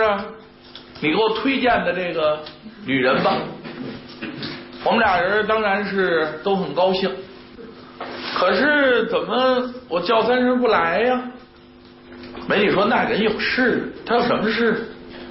高公子找他陪酒去了。”哎，高公子谁呀？你也不认识，你瞎打听什么呀？这都阴间的人物，这个写的好，这是在其他聊斋里或其他故事里头以前我们所没有看到的。就是阴间也有娼妓，为什么阴间有？后文书有交代。我们过去呀学曲艺，有这么一段叫妓女告状。八月十五庙门开，牛头马面两边排，阎王爷就在上面坐，小鬼扛着拘魂牌。滴溜溜一阵阴风起，刮进一个女鬼来。女鬼是谁？是妓女，又叫妓女悲秋。妓女告状，他告什么状呢？他告宝二娘、领家妈妈，告王八插杆、大茶壶，告这些个嫖客。他要诉一诉他这一生的苦，其中有几句是很悲惨的。这个大鼓演员要唱出来，甚至于说跟他自身的一种感触是有关联的。所以过去唱大鼓的，有时候也受到很多的欺凌，尤其像什么《老情调》《小风调》这些个古曲唱这个。我十几岁家里头一恨的就是我父母把我卖到卖入昌门，那么我到了昌门里头是非打即骂，然后。别人看着我们啊，每天描眉打鬓，花枝招展，迎来了穿红的，送走了挂绿的。等到我们得了病，没有人给我们治病，死了，死了之后怎么样呢？一辈子挣的钱都归领家妈妈了，到最后连一个薄皮的棺材都没有，一领席把我一卷，往烂葬岗子一扔，都没有埋，来个野狗，愣给把席扒开了。死后我的尸身都不得以保全，那么就求阎王爷在转世投胎的时候做什么都行，别让我再投胎妓女了。我上辈子有什么债，我想办别的办法还。所以这一段作品唱出来啊，使人非常的啊感觉到凄凉、悲惨。观众、听众真有掉眼泪，很同情妓女。但咱们国家呢，是五一年彻底拿北京来说，取缔烟馆、妓院、赌局这些个地方，那就彻底一家都没有了，而且力度是相当大的。当年参加这个活动的人，现在还有健在的八九十岁的老公安。那么我跟他们也了解到一些个情况，所以这个在阳间关于这个事情，咱们了解的不少。尤其我说这个书，我看了很多资料，就现在电影电视剧里演的这个呢，跟事实本身是不符的。但是阴间从来没提，也没有阎王，他是一个主持正义的人，他是按功而断的。把这人的一生功过，让你判你是妓女也是来世，下辈子你再投胎当这个，就在阴间不可能有。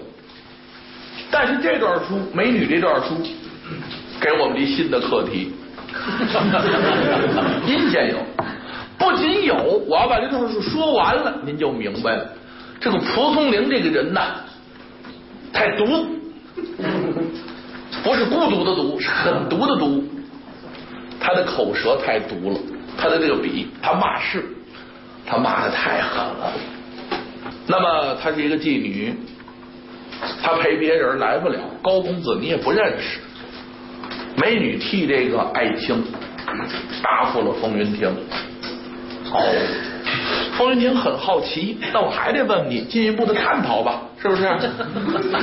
因为你你是女鬼，这个我已经知道了，她也是女鬼啊。她在阴间是个娼妓，你在阴间是干嘛的？我在阴间现在居无定所，我没有魂儿。我现在呈现你的面前的这种意识形态，非人非鬼。我等报完仇，我就能够转世投胎成人了。那你们在哪儿待着呢？你们你们平常，你比如说我叫他一垒墙就来，你是从来的神出鬼没，顺墙上就走下来了？是墙里边有个地儿是怎么着呢？鬼无所，鬼无所，就是暂居地下，我们都在地底下待着。哦，在地底下待着。那么地下有戏可容身否？他说完这句话呀，风声问他：“那你们说在地底下待着，地底下有个缝儿啊，是有一空间呢，是有一窟窿，是一什么地方啊？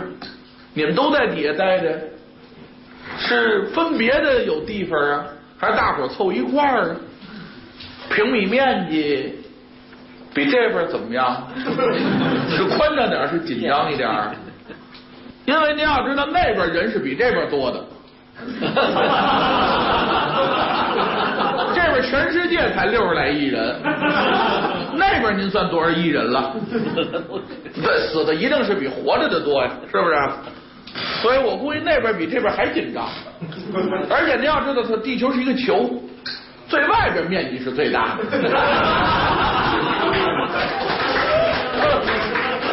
今儿里边呢，据科学家跟我们说呢，就是一个热的一个火球，那不适合于人类居住，恐怕鬼也不成。那么就是在地表中间、地核外边中间那一圈是不是？它面积又比外边小，又有那么一多亿人在里边住。我们史前的不算了，这是史后文明的。这六七千年死的人可都在底下呢。当然了，有转世投胎的，他老这么转，您知道吧？从理论上说是这六十来亿人来回老转，但是呢，那也够瞧的，您说是不是？这个问题还值得探讨。可是去那么些人呢，没一个给我带回确凿的一个证据来。我也没特意托付他们，倒是谁临走您到那儿给我托个梦也没人来啊。这都是平常我看《聊斋》看多了，我也有一些个奇思异想。现在风云平提出来了，那头你们在哪儿待的呀？啊，他回答他这句话，也是这篇美女里的一个经典，也是《聊斋》里一句经典，就是这话只有打蒲松龄嘴里能说出来。我们看《封神榜》，看《西游记》，啊，看《山海经》等等等等吧，就是什么这个社会咸于这个呃鬼了、狐了、怪了的这些个传奇济公传的都算上啊，都没说出这句话来。蒲松龄说了，就是从美女答复风云亭问的这句话，说地下有戏可容身否？美女跟他说什么呢？说鬼不见地，有鱼不见水也。你这这句话比喻很高级。我们鬼要不见地，没有地，就跟那鱼不看见水一样，那就死了。鱼必须要在水里活着，鬼必须要在地下活着。那么由这句话，我们可以定下来，鬼都是在地下的。说。有鬼行于空中，或者是上空啊！你神仙为什么都在上头呢？鬼都在底下呢？大概就总有这么一个总结，也很幽默。他不正面的回答我在哪儿待着，他跟他说：“鬼不见地，有鱼不见水。”哦，那就是。那么切身到你来说，我虽然说现在从墙上把你释放下来。你当初上吊那个绳索，我替你解决了。但是现在，如果我能够救你，把你所负的那个冤给你报了，哎，鸣冤报仇之后，我能够把你赎回来，那我是愿意尽全力的。风云亭由于喜欢美女，他说什么呢？我愿意。破家产，全力而购之，这倒不是以空话许人，他确实做得到。为什么呢？咱前文书交代了，上回咱们先说，他是官居，他媳妇儿没有了，死了，也是正因为他媳妇儿没有了，他在外头跟美女也好，或者招这个妓也好，这还可以原谅，他并没有背叛他的爱人。而且他这个招妓的情况呢，还很特别，是恋人帮他招的。你这女朋友，说实在的，也只有《聊斋》里有。现实生活当中，恐怕没这事儿。那么他呢，家里边没有什么牵挂，他就把家都卖了，能够救美女，他跟美女建立一个家庭是可以的，所以他跟美女表忠心是这么说的。那美女呢说不用，说您把家都毁了，真把我救了，我也没法跟您过，是不是？也不是那事儿，慢慢的，我这仇反正是能报的。哦，那就是了。那咱们俩人今儿你又来了，这是明确的了啊，两个人是不能发生肌肤的这个之亲的。现在你也找了替身了啊，我这问题也能得到解决了。那么你来了，咱们俩这么干坐着也不成啊？哎，挑灯共话，两个人说情话，聊，聊着聊着。不好好聊了，干嘛呢？这点写风云亭强作戏，就是他这个人呐，嗯，不甘寂寞。他说孤男寡女啊，灯下共语，这个光这么聊这不成，咱俩还玩游戏。玩什么游戏呢？上回咱也说了，这个美女强项是翻绳儿。做线戏，然后呢，这回又有棋盘了，可以打双路，两个人下下棋。那么还是这些游戏吧。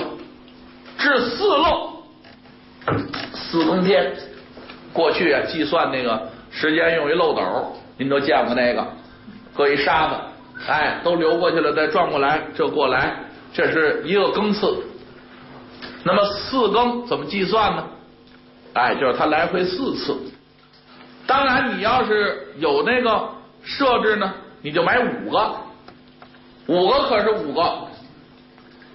你弄完这个呢，你再弄那个，或者这五个是阶梯型的，因为它老漏啊。它有一大的，就是细的，流的慢的，还有一更大的，更大的，更的，更更大的，这样才能保持时间的一致。啊，这是一个比喻，四漏就是四更。四更方止，他睡觉了。他睡觉呢，当然美女还要为他进行按摩。哎，原文就这么写的，会按摩术。这个我也给大家强调，这也是除了这篇《聊斋》，其他《聊斋》里头没有提到。所以美女这篇文章啊，给我们的提示是很多的。而且上回我说了，蒲松龄这对这段异性按摩描写的非常细。从身心达到了无比的愉悦，从脑袋怎么按的，一直到他的肩，到他的后背，至骨就是大腿，还没有垂到脚就已经熟睡了。可见那会儿这个按摩术已经发展到很大。蒲松龄是切身感受过，这个我没有跟现在的这个 叫什么呀？这算什么行业？按摩行业也没这词儿啊。服务行业的啊，我没跟他们交流。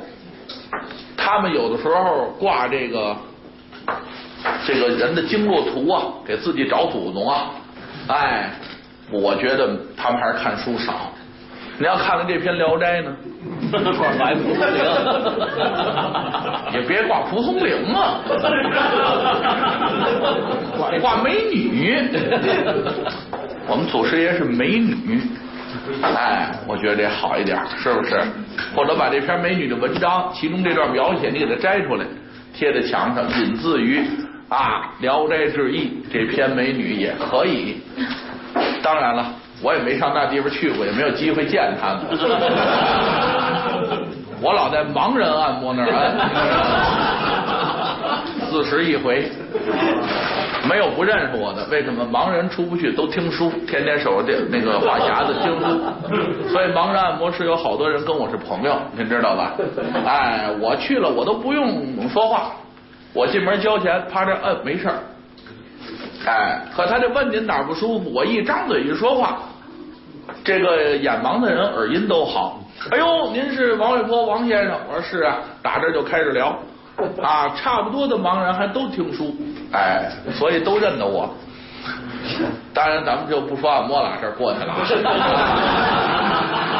咱们还说书是不是？哎，还说按摩。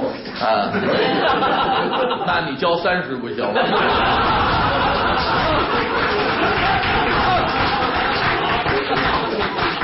这还是我给您说，您知道吧？这让我干爹给您说还贵。其实我们这儿说的最细的是我们蓄水这刘斌，您知道吗？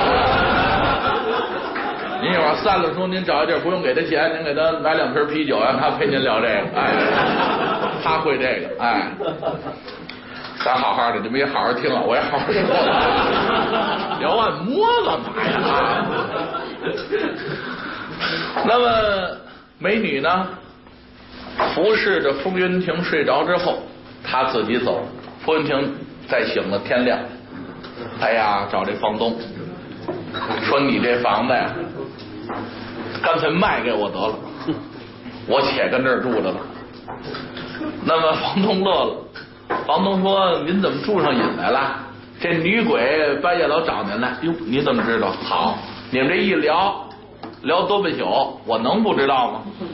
我这院里头可还租着别的人呢，尤其都是你们上城里边来考试的学生。我那意思，您可注意点影响，是不是？”这个说的对，就是念书的学生，一旦你要是有嫖娼的行为，那么让学里边知道，就革去功名了，而且永远没有再考试的资格了。所以您还得多注点意。哦，知道知道。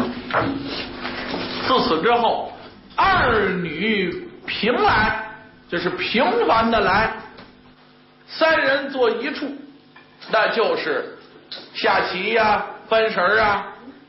经常的，差不多是天天的通宵达旦。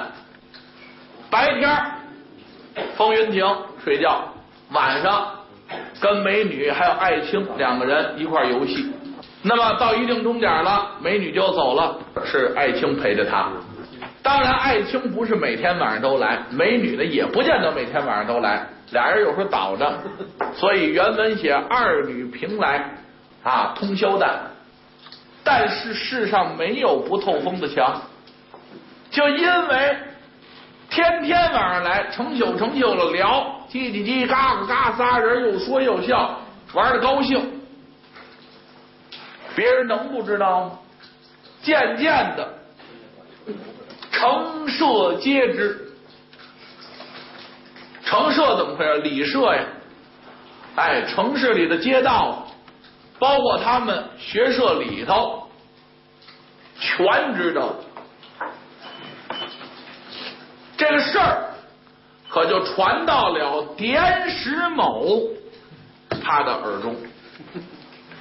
典史某在这个郡县里头，但这个典史就是次于县长的这个官啊，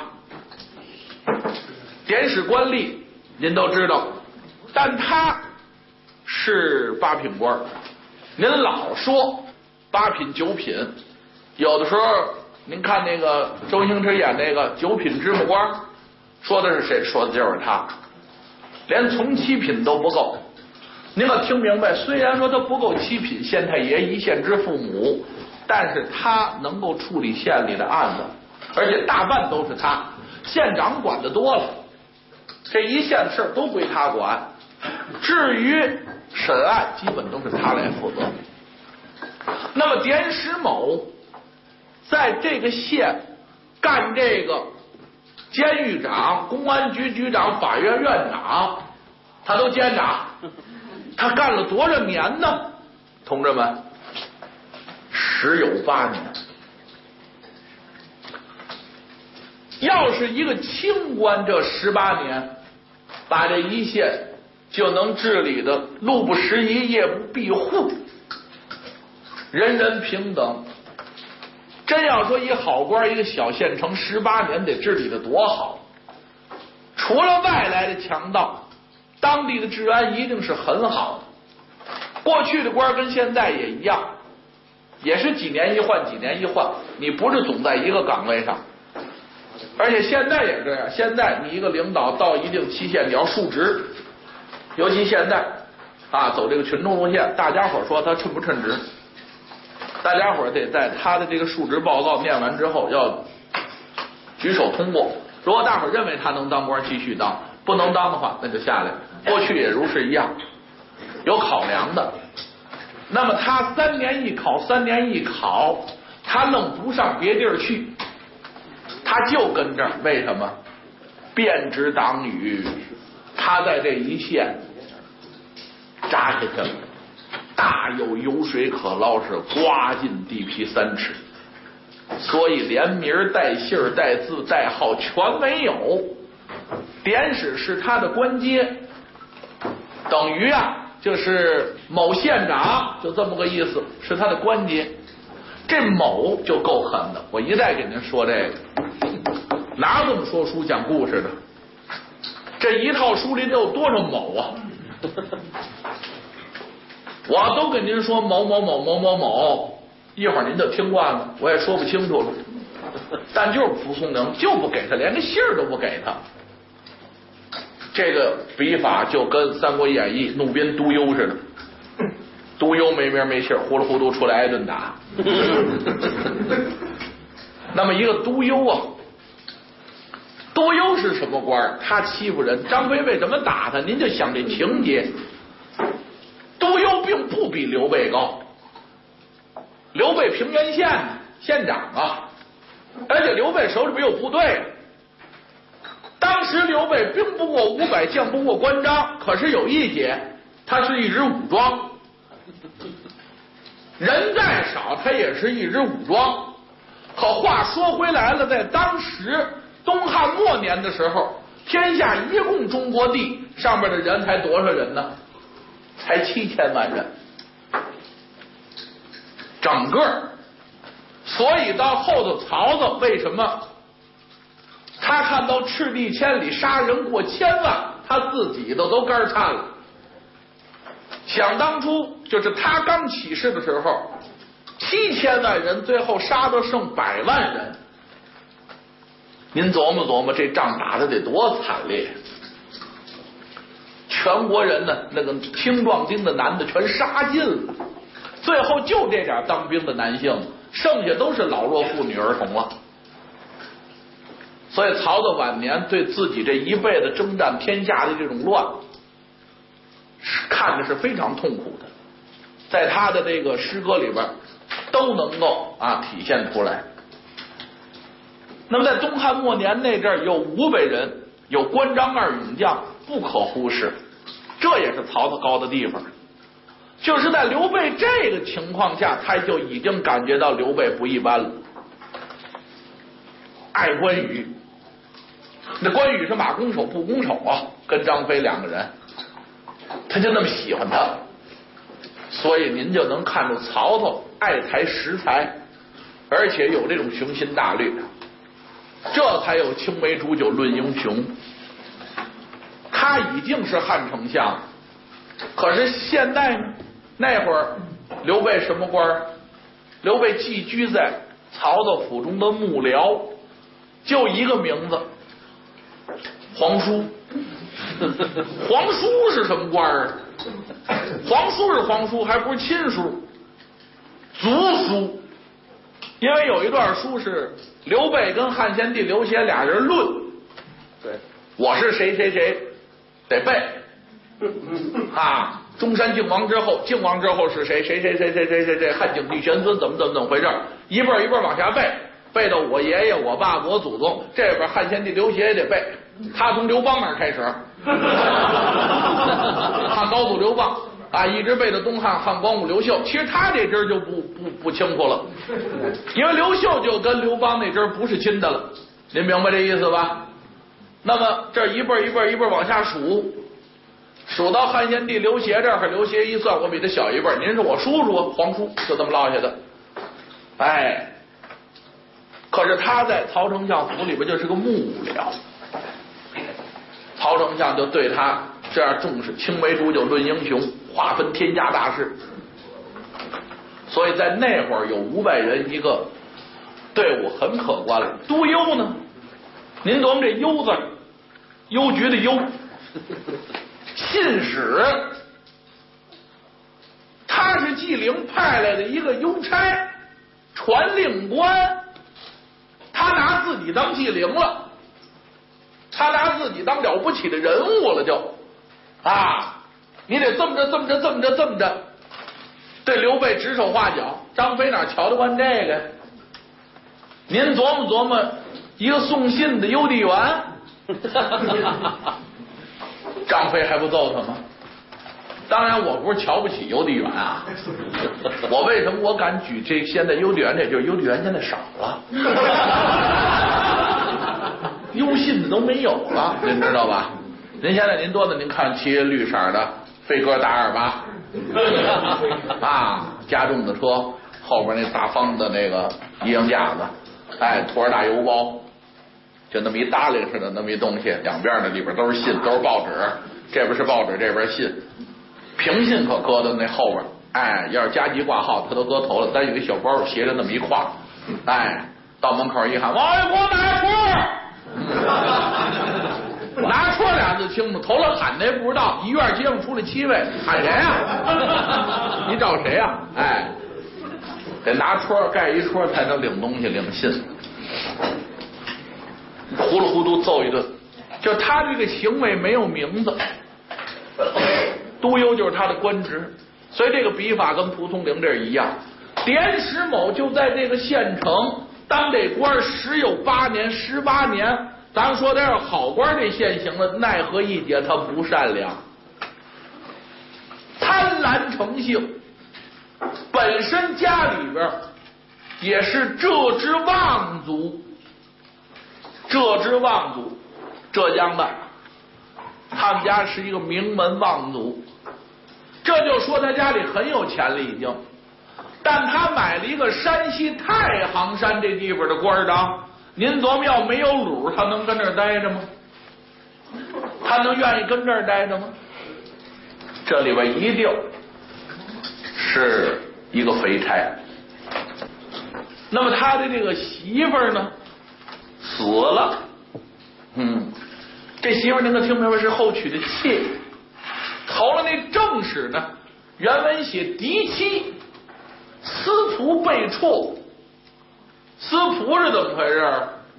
私通一仆人 被辍被罢黜，就是被休了。这个写的也有点意思。他自己本身啊，典史某啊，他是一个很悲催的人物，妻子不贤。妻子不贤呢，你要私通西门庆也行啊。为什么？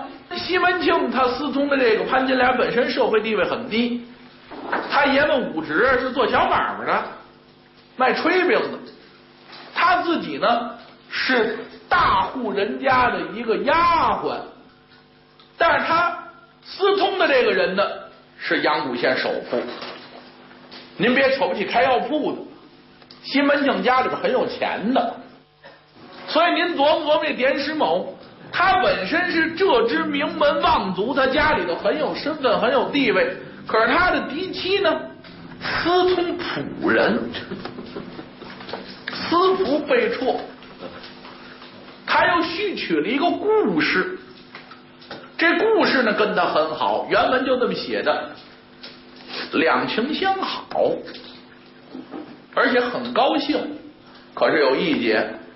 这典史母就更悲催了，积月而夭，写是期，就是咱们这学期的期，期待的期，念念积。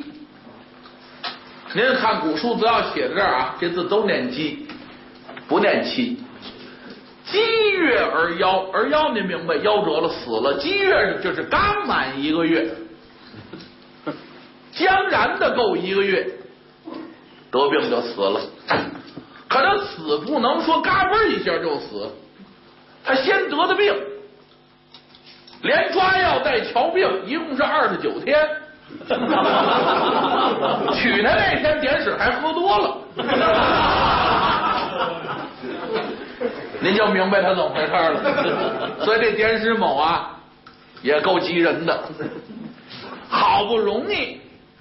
有一漂亮媳妇儿跟仆人跑了，又娶一个又挺漂亮，晚一个月死了。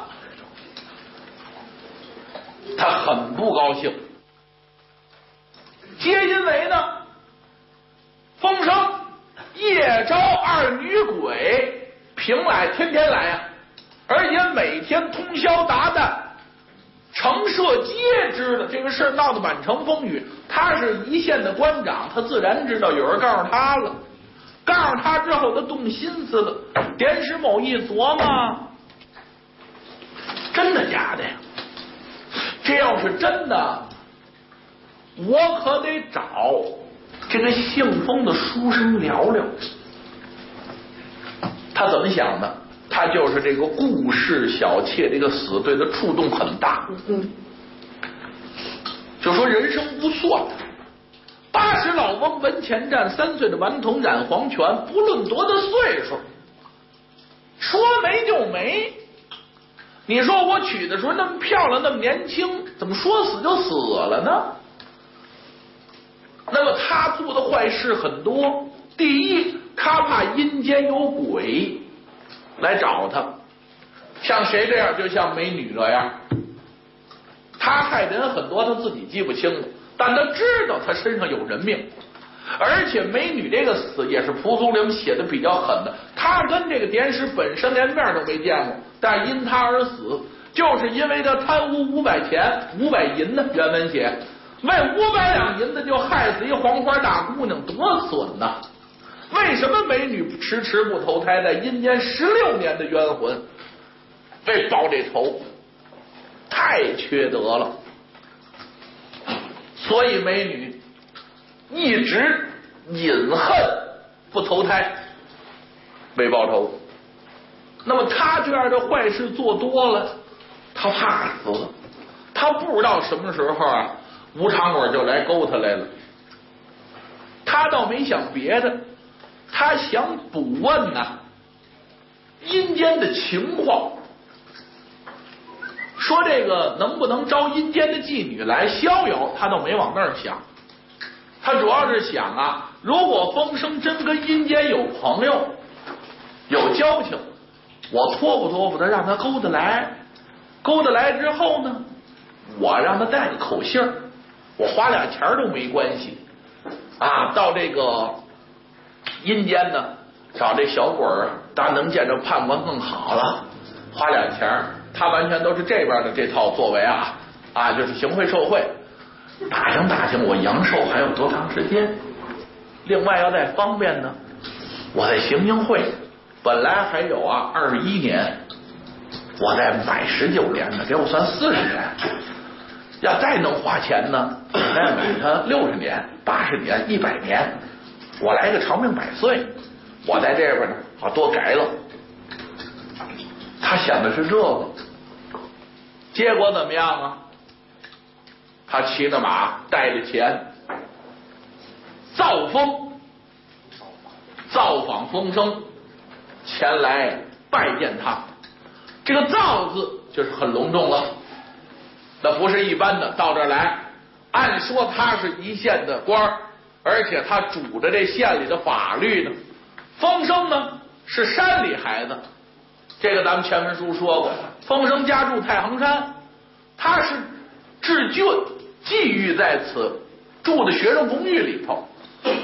您琢磨，他要见一个进京赶考的大学生，上县城里来的学生，那随便派个人啊，冯林亭，典史找你，走走不走拘你，这不很方便吗？啊，不去，亲自来看他来了，造风。可是房东吓坏了。哟，大人，您今天怎么到我这儿？是查户口啊？发灭鼠药？喷敌敌畏？撒六六六？你说那都街道居委会大妈干的，这都不是我干的。哦，那您什么事？呃，你这个公寓里头住了一个姓封的风云亭风相公，就提我要。拜见拜见，您找他什么事儿啊？这甭打听。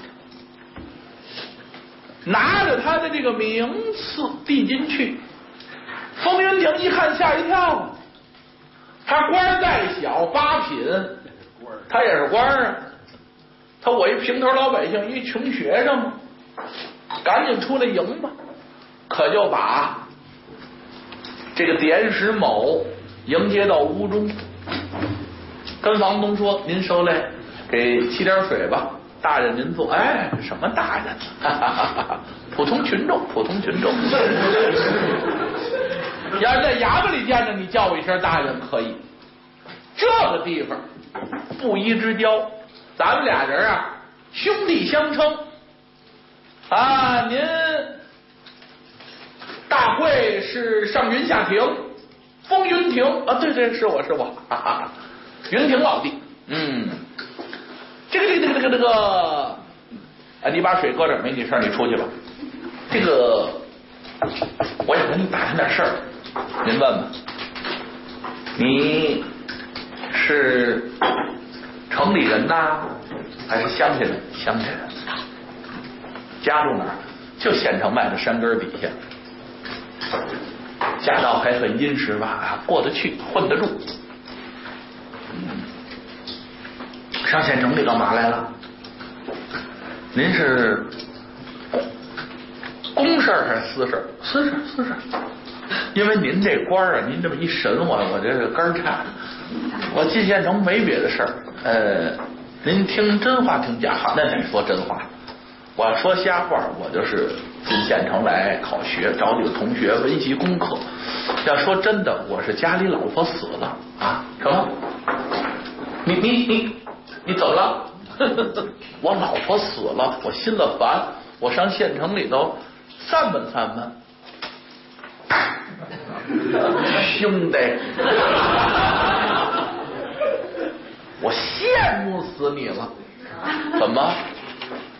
我老婆也死了，我就不能像你似的满是溜达？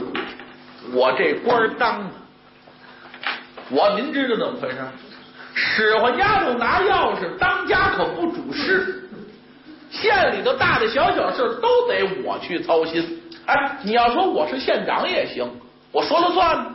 父亲上头有县长、副县长，八个婆婆管着我，什么事情大小事儿都得汇报。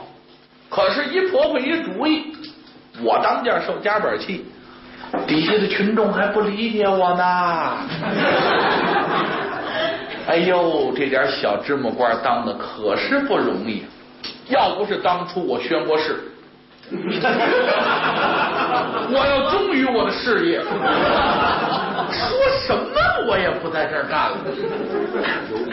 跟你说实话，你俩嫂子都不在，都死啦。嗯，小嫂子死了，你那大嫂子得一安，颠了，跑了啊。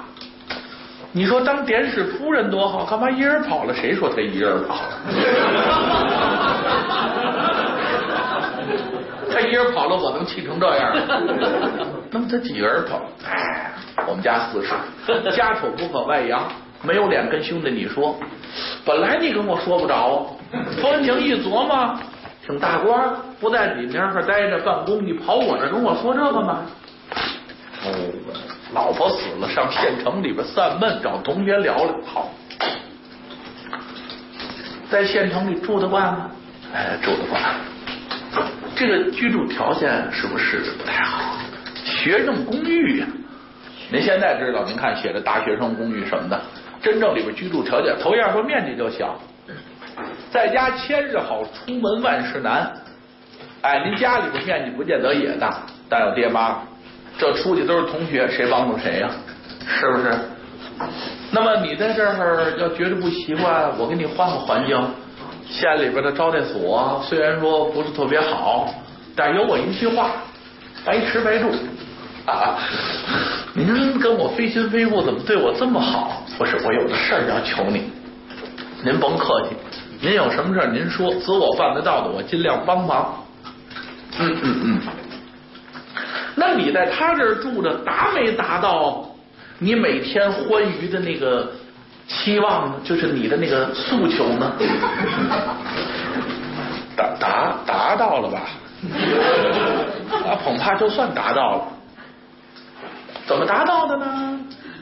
那同学时常的来往，我们一块儿吟诗答对啊，饮酒谈天儿我们还是很高兴的。哦，光是小哥几个聊聊，就能那么高兴，就能把死老婆这事儿给忘了？嗯，也就那样了。兄弟，这就是你当小兄弟的不对了。嗯，怎么见得我的不对呢？你跟大哥我没说实话，都是穷学生住的这小院里头，你们能乐到哪儿去呀？我可听说啊，不知道说的对不对。你瞒着哥哥没说，有妞陪着，对不对？嗯嗯，这这个说你多么踏实，搞公安的，他天天问案呢，关断十条路，那风云平嫩呢。这稍微这么一打量，那就已经招了，已经让人给说中了。你再说没有否认，已经没有用了。不是他，恐怕您听传言是虚吧？哎，这外边瞎说，不足为信呢。哎，兄弟，你还没理解我来这趟。我跟你是同病相怜的。嗯，我听说，贤弟福尔啊，您说我听得见。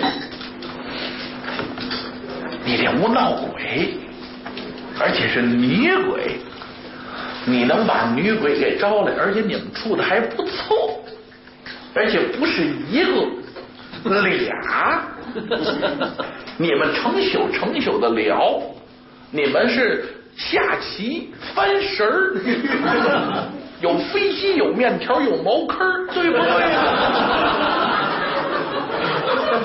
传的够细的，这您都知道，有没有吧？嗯嗯嗯，没有。风声不能承认，风声信了话说，反正他晚上才来呢。你又不会秘诀，你其实现在到北墙那儿，梆梆梆一锤就出来了。咱们前文书说了，他头一次见美女就是骄阳正午，他这睡午觉嘛。唯独这个美女跟这个。折季爱卿，他们两个人黑白条全能来。那现在你要到了北墙这儿一说这咒语，爱卿一来不就不攻自破了吗？但你不会，你不会，你在我这儿待着呀，你也不能待到晚上。我不能承认，今天晚上我把美女跟爱卿俩人招来之后，我跟他们俩人一说。打这儿起，连着这一月别来了，我躲躲这风声，我把房一退，我先走，不能让县里的人知道这个。他来了没有什么好事风声有这个警惕性，不承认，没有哦，没有，那好，咱不提。我问问你，你这屋子里头怎么这么些柱子呀？嗯，多吗？多，而且这房梁。这怎么缺一块呀？是你来的时候这屋这房梁就没有啊？还是你来了以后这房梁才锯下来的呀？嗯，厉害啊！这小子三角眼这么一瞪，他是断案的时候，他说的正是问题证据的关键之所在。为了救美女，断屋坟梁，因为他这房房梁这吊死的呀。美女说了，你把这段房梁锯下来一烧，我就解脱了。那么他跟房东说完之后，确实也是这么做的。房梁是烧了，这屋子不能房顶子耍下来呀，所以多弄了几根柱子给他顶着。屋子里的柱子一多，让人看着闹得慌。人家进屋的时候没提。而且早就已经掌握这些证据了，现在瞅瞅的，啪，一句话问住，冯云亭，冯云亭让人问的哑口无言。哎，我兄弟，兄弟，兄弟，兄弟，兄弟，我来一点恶意都没有，而且我确实羡慕你。我不跟你说了吗？我媳妇儿也死了。你要跟我说实话，我求你帮我办点事儿，帮也在你，不帮也在你，那就看咱们哥俩的交情。哦，何文清一听明白了，他媳妇儿也死了，他肯定也是寂寞难耐，跟我一样。然后他一听说呢，阴间也有妓女，他给招来，然后也陪他，是不是这意思？您都说到这儿，我要不承认，恐怕也不行了。大人，哎，别叫大人，叫大哥啊，大哥，大哥，确实有这么回事儿，有这么回事儿是有这么回事儿，可是他们俩跟我是朋友，我们呢要把他们找来，其中有一个呢可是良家妇女，另外一个呢虽然说在阴间也干这见不得人的勾当，但是他那业务还挺忙，就是我让他来呀，也不是回回准来。他现在陪我一人啊，还陪不过来呢。我要再给他发展客户，我恐怕他应接不暇，没那么些功夫。你哎，你等会儿，你等会儿，等着。哦，这俩女的，其中有一个还是干那个的啊。您不知道，这我不知道。嚯，阴间还要干这个的？来来来来来来来。啊，您不是为了寻欢作乐，不是我呸。兄弟，你怎么了？我这人你以后接触多了你就知道了。不敢说咱们自诩柳下惠坐怀不乱，咱们可不是那随便的人。你这俩嫂子，那大嫂她对不起我，小嫂子她也对得起我，也对得起她。可玉姐命短，我们俩人一个月她就死了，感情很好的。我不是让你把她找来陪着我寻欢作乐，我是有别的事托付你。哦，冯云亭一听，吓我一跳。要这个，我还真能帮帮忙。那什么事儿呢？嗯，也不是什么大事儿。就因为啊，你这小嫂子一走，我感觉人生无常。这人怎么说没就没了呢？所以我打算请你招来你阴间的这两个朋友。那么我托他们到阴间呀。帮我打听点事儿。他说到这儿，风云亭可也不傻，风云亭可就明白了。哦，他想问问他寿数几许？听他说吧。这典史接着说，咱花点钱不要紧的。呃，哎，对了，你在阴间这俩朋友，其中有一是干这个的，这是怎么个消费方法呢？是花咱们这边钱呢，是花那边钱呢？要花那边钱就好办了，因为咱们这边钱买多少那边钱都行。我让县里边印刷厂就给印了，印什么？印鬼票啊，多少亿往上随便印。哦，您自己掏钱，不仅县里边报销，我就说县里边学校印卷子了就。跟县里边教委一说这事儿就能办，好好好好领教领教领教。这个这个这个这个没花钱，嗯，我这边要是招妓嫖娼得花钱，到那边不用花钱吗？嗯，不不用花钱，凭什么呢？不凭什么？他是朋友，没跟您说吗？哦，他活着跟你是朋友，不是。死了以后认识的也不是，怎么个朋友呢？他跟我这女朋友是朋友，因为我这女朋友我们俩不能有肌肤之亲。这我跟您说，您可别嫌我，我也不嫌寒碜了。他帮我找来的这个阴间的娼妓，他叫什么？他叫爱卿。可你听这名字。那么他这个钱呢？钱是我这女朋友帮着付的。哦，你这女朋友跟你是？阴阳两界的恋人，对，然后他花阴间的钱帮你找妓女，嚯！兄弟，你够深的呀！这个大哥还要单独讨教，他 要单独讨教。呃，你问问需要怎么个花钱，我办。到时候买通了阴间的阎王判官，问问我还有多少年。跟你说呀，哥哥，我可不是怕死，皆因为这边还有很多未完成的事业。大媳妇跑了，二媳妇死了，我怎么也得再娶一个吧？真要说三年两年我就死了，我可有点对不起人家。哎，换言之了，不孝有三，无后为大。我都这岁数了，在县上干了十八年了，没有功劳有苦劳啊。那么我怎么就不能有个家庭呢？我再娶一个，生下一男半女，半道我死了，剩下孤儿寡母，有谁拉着呢？兄弟，你想想，对，风云亭这样的被骗了，有您的秘书，可您提这个问题呀、原先我也没敢想过，更甭提提出疑问，是不是？嗯，我帮帮忙，我把他们找来，找来可是找来，呃，您得尊重人家。是是，我知道。你找哪个？找你那女朋友还是找那个妓女呢？我只能找那妓女。为什么呢？因为我们俩之间有暗号。我一捶这北墙，我一念这咒语，他就来了。我那女朋友呢，她是愿意来就来，愿意走就走，我还真拦不住啊。有一个来就行。哎，跟我把这事儿谈清楚之后呢，到那边寻完价回来跟我说花多少钱，哥哥我有。问清楚了，至于能不能买我的阳寿呢，日后再说。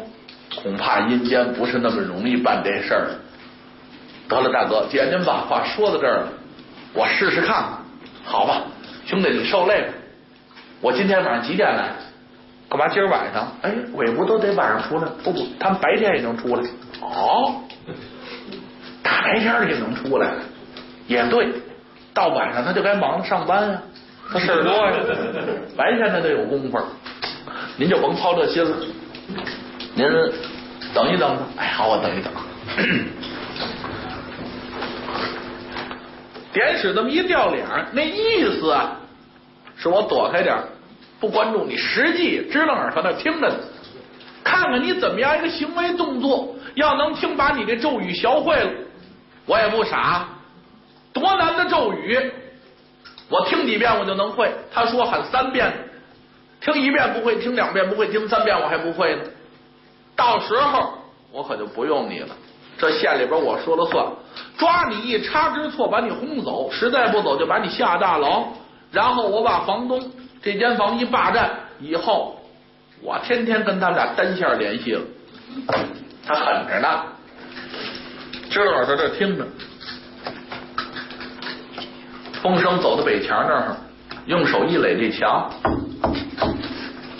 葫芦子，他怕他听见。这仨字有好说，葫芦子喊两声，爱情就来了。白天确实没事儿，一边顺墙往下走，您听这《聊斋》，顺墙缝里头出来，顺墙往下走，一边啊嘴里边絮絮叨叨。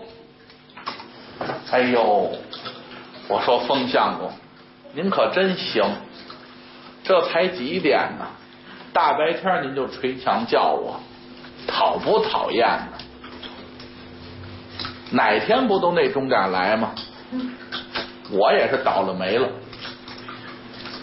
认识美女这么一朋友，紧着托付。嗯，他一边埋怨他，一边顺墙往外走啊。他得先看见风声啊，风声呢？伸手顺墙上往下接他啊，不是，今儿个没别的事儿，给你引荐个朋友哟。爱卿一边顺墙上下来，一边琢磨引荐个朋友，这可不像话。为什么？两个人从阴间来，每天私会风云亭，这是个秘密。那么这个秘密呢，不愿意为人所知，阴间也不愿意让众鬼知道，阳间更不愿意让众人知道。那么你有点嘚瑟。你每天有二女陪伴，每天通宵达旦，两个美人陪你还不成？你还外边各处去宣扬去？到现在弄得满城风雨都知道来了人，你还把我叫出来引荐，这不像话呀！但这要是美女出来，掉头就走了，根本连墙都不下。一听这话，滋溜就没了。她不行，她是妓女。妓女怎么回事？阅人无数，而且她就干的这工作，她不怕见男人，也不怕见生朋友。一回生，二回熟，三回俩人是朋友，只要你有钱，他无所谓。想到这似乎觉着不合适，但是可也没回去，继续的跟冯云亭啊是嬉笑打骂。我说你讨厌不讨厌？我让你给我引荐朋友了，谁呀？我瞧瞧。哟，转身行，他一瞧。这风云亭一侧身他可就看见点石某了。点石某这正回头，这人从墙上下来呀，墙上下来。点石某呢，往墙看这边，嘿，他又上点岁数，所以他目力不是那么好。他转过来，笑容可掬，那意思你下来，我跟你一问，把我事说清楚了就行了。他还没看见女鬼呢，爱卿瞅见他了。爱卿本来转身行要打招呼，当时色变，唰一下脸就变了。一看是点石某，转身就走。风云亭是伸手相拉，哎，爱卿，你不你，爱卿是满面惊慌。赶您再瞧，这典史某看了半天。审视良久，瞧清楚了。哎呦，呵，你怎么？嘿，我，我跟你拼了！头一，巨碗，咱不知道风云亭这屋搁一巨碗啊。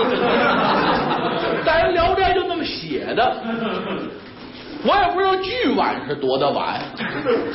原先我想说呢。俩人呢，这儿风云亭呢还要招待招待点石某。原先我是这么设计这情节，还有汤，上一大汤碗，拿这汤碗砸他。可是根据《聊斋》原文写的这个情况呢，还不是简单就是一汤盆的事巨碗。哎，所以我就不给您瞎编这情节了。反正屋里有一很方便的大碗，这点石某也真急了，把这碗可就抄起来了。风云亭一想，你要干嘛呀？干嘛？我我弄死不？他已经死了。不，我我拿这碗啊，啪嚓一下，他就拽过来了。正是这爱卿往墙缝里钻，北戏北墙上有戏有缝儿，他来去都走这儿，他正往里钻。这碗也到了，啪嚓一下砸在墙上，墙上的灰也砸下来了，似乎也砸着这爱卿。就听这爱卿啊，哎呦一声进去了，赫然而灭，没了。您再瞅这点石某气的，啊，姓封的，你你太可以的了！来人，这不在他衙门，没人呢，他已经疯了。来人！拆他的房，把这北签给我掏开，把那个小贱婢给我抓出来。姓封的，你活不了啊！风云亭不知道他怎么回事，刚才满面笑容求我办事，这么会儿一瞅见我这爱卿，他怎么急成这样呢？拿大碗砸人家！哎，大人，大人，大人，您慢，这这这不要着急，您怎么意思？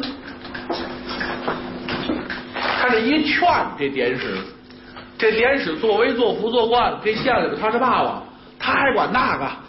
一会儿他明白过了，他气糊涂了啊！对对对，这不是在我的衙门，你等着，你跑不了。房东，房东，我告诉你，放走了姓封的这小子，我把你们全家都下大牢。他往外走，那意思回衙门喊人去。到这儿，先把人全抓起来，然后拆房捉鬼。他气坏。他这正闹着呢，从北墙里出了一人，从北墙出来这人呐，甭说这典史，就是风云亭都吓得够呛。饶是大白天真得说令人毛骨悚然。从墙里边出了一老太太，风云亭啊，对墙上吓人。出来女鬼已经习以为常，天天晚上通宵达旦，有说有笑，翻神儿。别老提这毛事儿。这出了一老太太，哟，这老人家是谁呀？你再瞅这老人家，拄着拐杖，一步就到门这儿了，怎么那么快呢？堵着门，这典史正往外走，一回头，哟！典史用手一指他，他以为这老太太从外边来呢。你你干什么？这老太太真对得起他，抄起这拐棍来照他这脑袋，啊叭，就这一下就给凿漏了，唰一下血就下来一大窟窿。哎呦，扑通往这一坐，这老婆手还真狠，拿这拐棍照脑袋上，梆梆梆。是连打带骂，骂的那词儿可难听了。堪比贼，贼呀！什么东西你？你知道你是干嘛的吗？梆梆梆！买一条五角带，倒悬鼻梁。这话，倒悬鼻梁，你这大头冲上。买条五角带是怎么意思？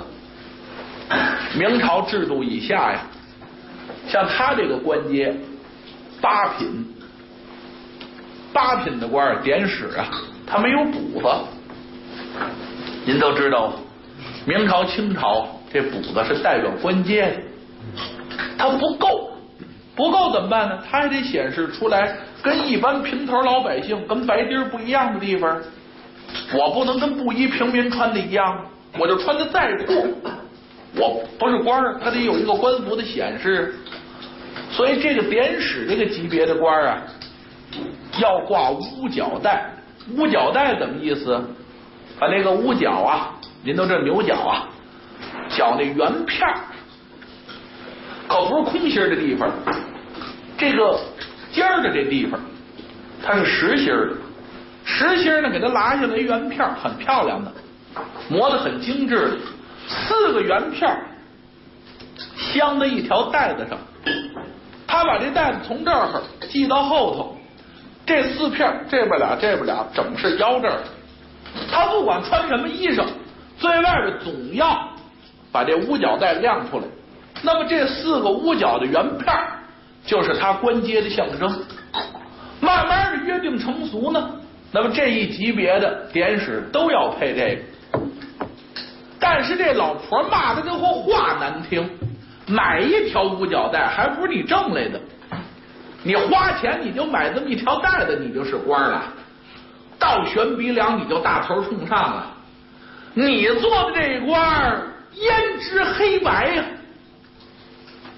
颠倒本县的乾坤世界，黑的成白的，白的成黑的。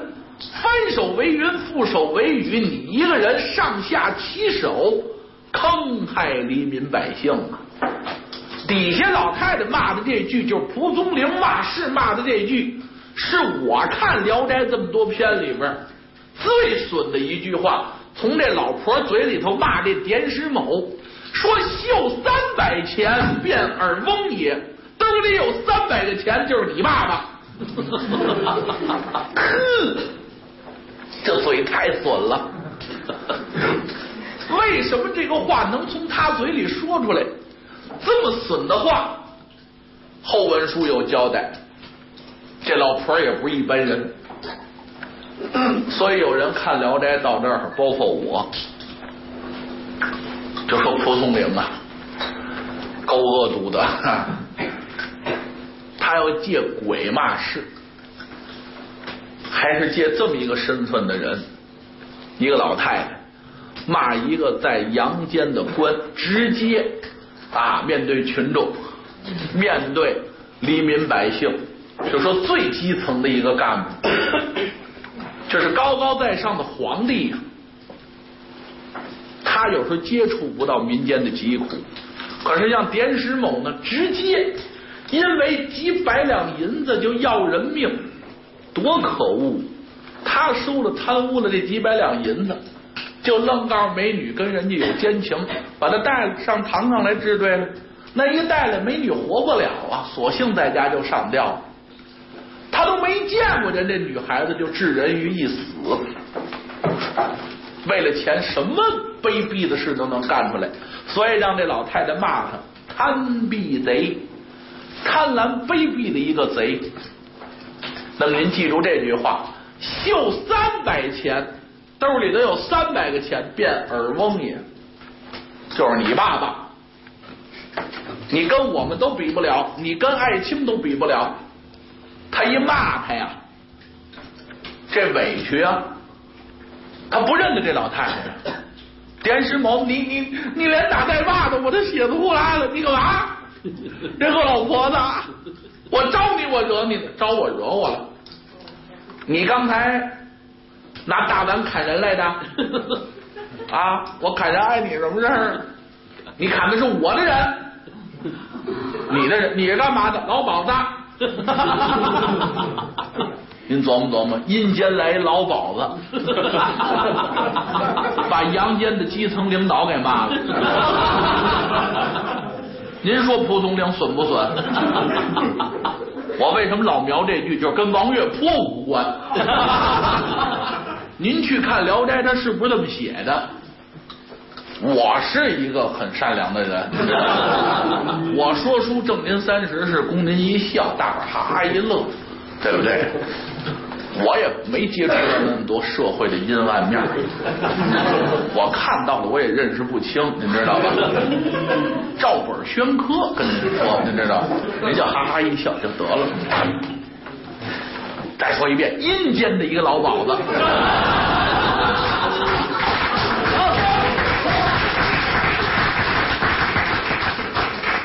到这连打带骂，你把我人打伤了，伤我钱子数就摇钱树，你得赔我，打你骂你就完了。你知道爱卿这一下上不了班了，挨你这一碗巨碗呐。他歇业，他歇业，我吃谁家？我们本来操皮肉生涯，到阴间还干这个，我们义吗？我们好不容易培养出来这么一个人物，让你给打伤了，多少天上不了班，你赔？你知道我们的业务多忙？今儿你不赔钱，你走不了。原文写老差啊，一个老妓女，后来当了老鸨子了。他这一说呀，典史某更委屈了。那你更不能打我了。这个人是我妻顾氏，死那顾氏那小妾，刚满一个月那个，他死了。他是我媳妇儿，在阴间做出不贞不洁之事，他做出这样的事情来，我打他不应该吗？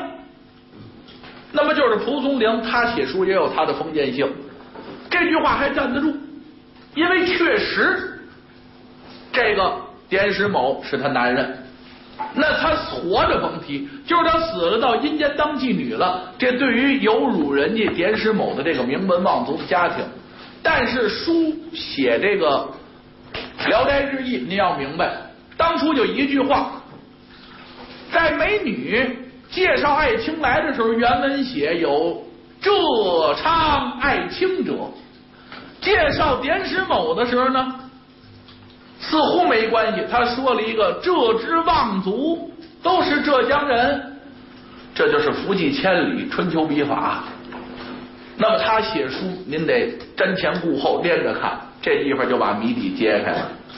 他就是死的那个小妾顾氏，那他对不起这个典史某啊，所以典史某连打带骂，挨完这一顿，他心里委屈。你这老婆子，我不管你阴间阳间的。你得讲理，我媳妇到阳间，你们逼良为娼，她当了妓女了。哦，现在我瞧见她，我打她还不行？你给我一顿，你们不讲道理呀！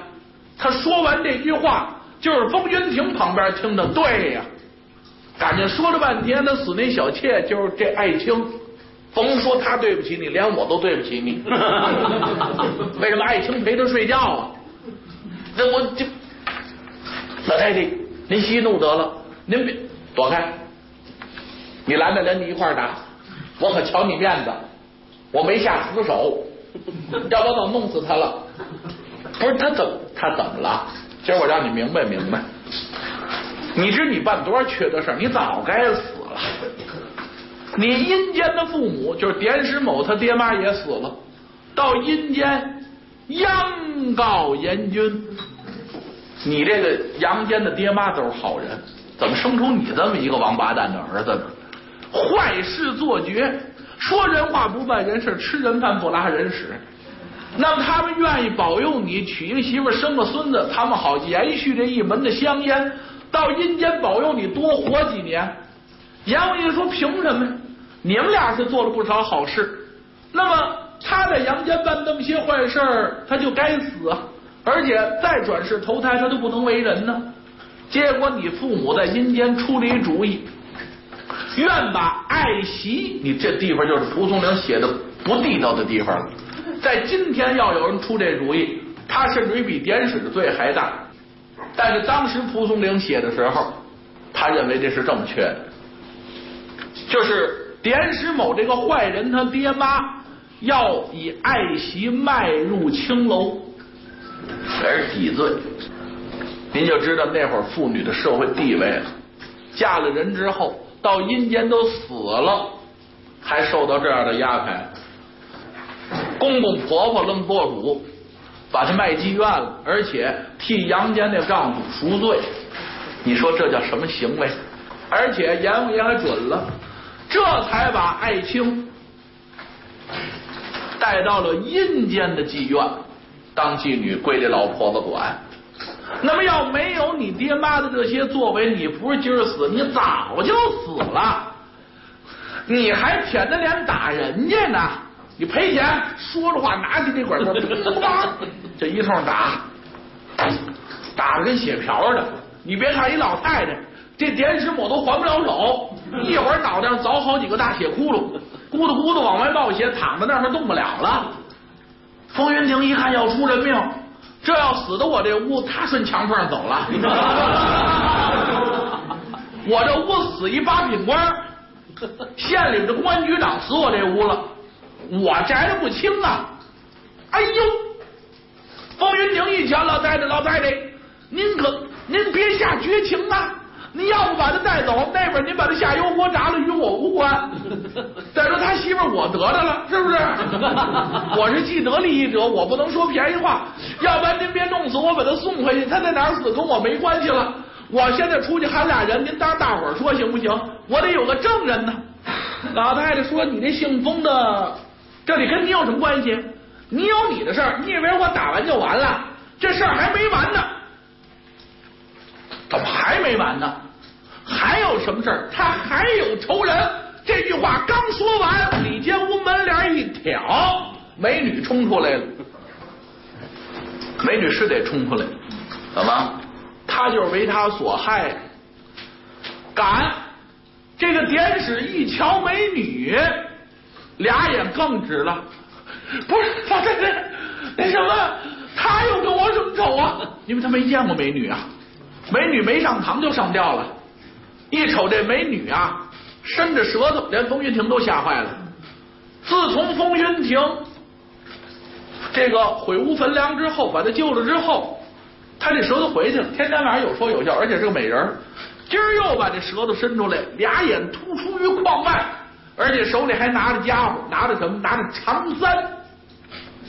女人别头发那簪子，恶狠狠、凶神恶煞的相仿，奔着这个典史某可就扑过来了。我要你的命！典史某不认得，不是这这怎么意思？风云亭似乎有所悟。哦，他平常老跟我说恨县里的典史，是不是就这家伙呀？美女你这美女可不管那个，也不哪来那么大力气捧一下，可就把风云亭扒了一边去了。来到了典史某的跟前，往他身上一骑，他躺在这儿，拿那长毡子照着他这耳根台打，噗就进去了，进去得有三寸多呀。这长簪子要往外一拔，这铁丝往外一撕，那非死了不行。风云亭吓得脸都白了，没大姑娘，她可不能死到我这屋啊！他为县之典史，若死在我这屋子里头，与小生有救啊！这是我宅了不轻啊，还望投鼠忌器，不可要他的性命啊！您再瞅美女，听完了风云亭这句话，这长簪子也没拔，用手一指这典史某，今日雇我风狼，我看在风狼的面子上头，一咬牙，舌头往回一缩，歘一下没了。老太太呢，歘一下也没了，俩人进墙了。真是，俩人在墙里还说话，嗯，外面这俩人能听见。美女还劝这老太太呢：“大娘，多少钱我包赔您，您别生气了，有多大仇我跟他报。行，丫头，我看你了，你这个啊，顾爱卿、顾姐姐伤的可不轻，是我看看他去。您息怒，您息怒，今儿您把他打的也够呛。你那簪子比我厉害多了，姑娘。人俩人有商有量的走了。风云亭扑通就坐这儿。您再瞅这典史，血瓢厢房往外爬呀，爬到门口，房东一瞧，谁敢过来搭呀？就那么一路爬回官署，终夜脑痛而毙命。也就是说。这个典史某当时没死在风云亭的窝里，爬回他的官署衙门之后，没过半夜他就死了。次日晚间，风云亭忐忑不安，不知泼天大的一场大祸是怎样消除。恍惚之际，墙上一动美女来了。嗯，好。书接上回，接说这么一段《聊斋》的字幕，叫做美女，姓这个梅啊，也是这梅，梅花也是这梅，不是美丽的美。可为什么一说美女，您往那美丽上想呢？就因为逢赏必华两个三声字搁在一块儿头一个字必念二声，两个赏声字搁一块儿头了这个。必念阳平二声。您比如说马连良，马连良，哎，您能念马？到马本斋这儿了，您听就不能念马本斋，就是马本斋。蚂蚁，哪位您听的都不倒音，可是呢，念出来是二声，是马蚂蚁。没有说蚂蚁，除非你一个字一个字念，这就是咱们语言学呀，哎，专门研究这个。所以您记住了，逢赏前面这个必华，所以我说美女不是美丽的美，是姓梅的梅，她姓梅，那么她死了，遭迫害死的，害的这人她都没见过，就是太行郡的这个典史。那么他贪图了银子，哎，他把美女给害死。没想到美女在阴间给风云亭风秀才找的这个妓女，生前是典史的爱妾故事，这就叫无巧不成书。那么出来一老太太，一通打，可就把这个典史某呢打得够呛。再加上美女出来拿长簪刺耳，结果当时没死，回到了寓所，终夜而毙。当天夜里就死了。那么他的死，对于说这一俊来讲，应该是大快人心。恨他的并不是说美女一个人多了，那为什么要用美女把他刺死？这就是蒲松龄狠的地方。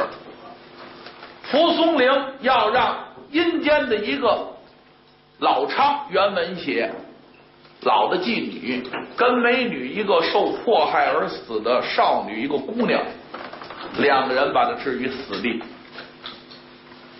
这就是蒲松龄对当时那个社会一个控诉。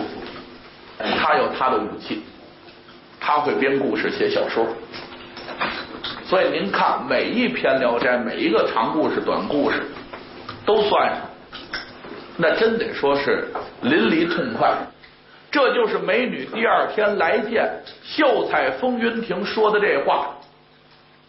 这也是这篇《聊斋》写的好的地方，叫大呼痛快。这跟我跟您说过那静听一样，智障而起，正擀面呢，把那个。擀面杖往面案上一扔啊，我也凉快凉快去。当时跟老婆婆翻了，这有点那意思，大呼痛快。冯云亭一瞧，你别喊，没人这人命。这学生公寓这儿，大伙都听见了，我这屋打的跟热窑似的。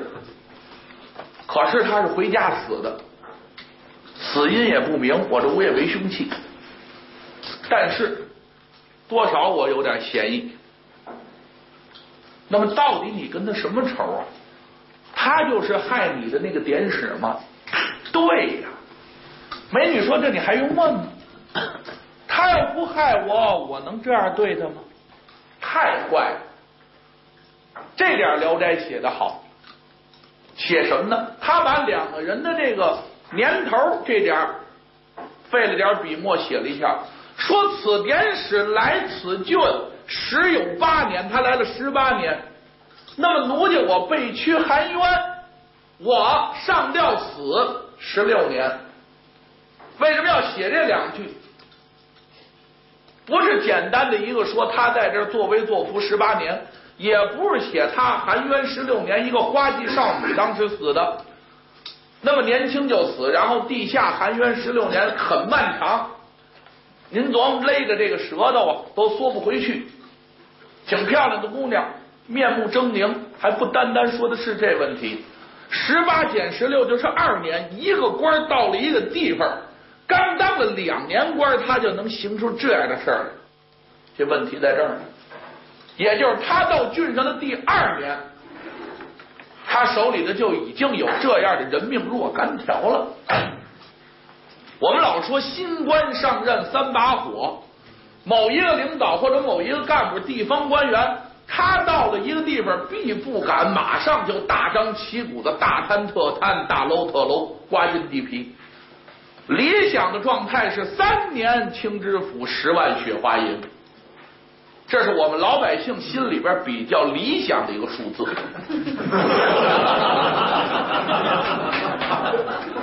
那拿刘斌来说，续三年水，还赚您一百块钱，没事儿，您心里没无所谓，不能超过这心理底线。您明白这意思吧？就是这回您来。可能多收您五块，找钱说少找您三块，您也不捋会儿，三年时间加一块才坑您一百块钱，那无所谓，您犯不上，对不对？您说一回要就坑您一百块钱，这是不是就过点了？对呀。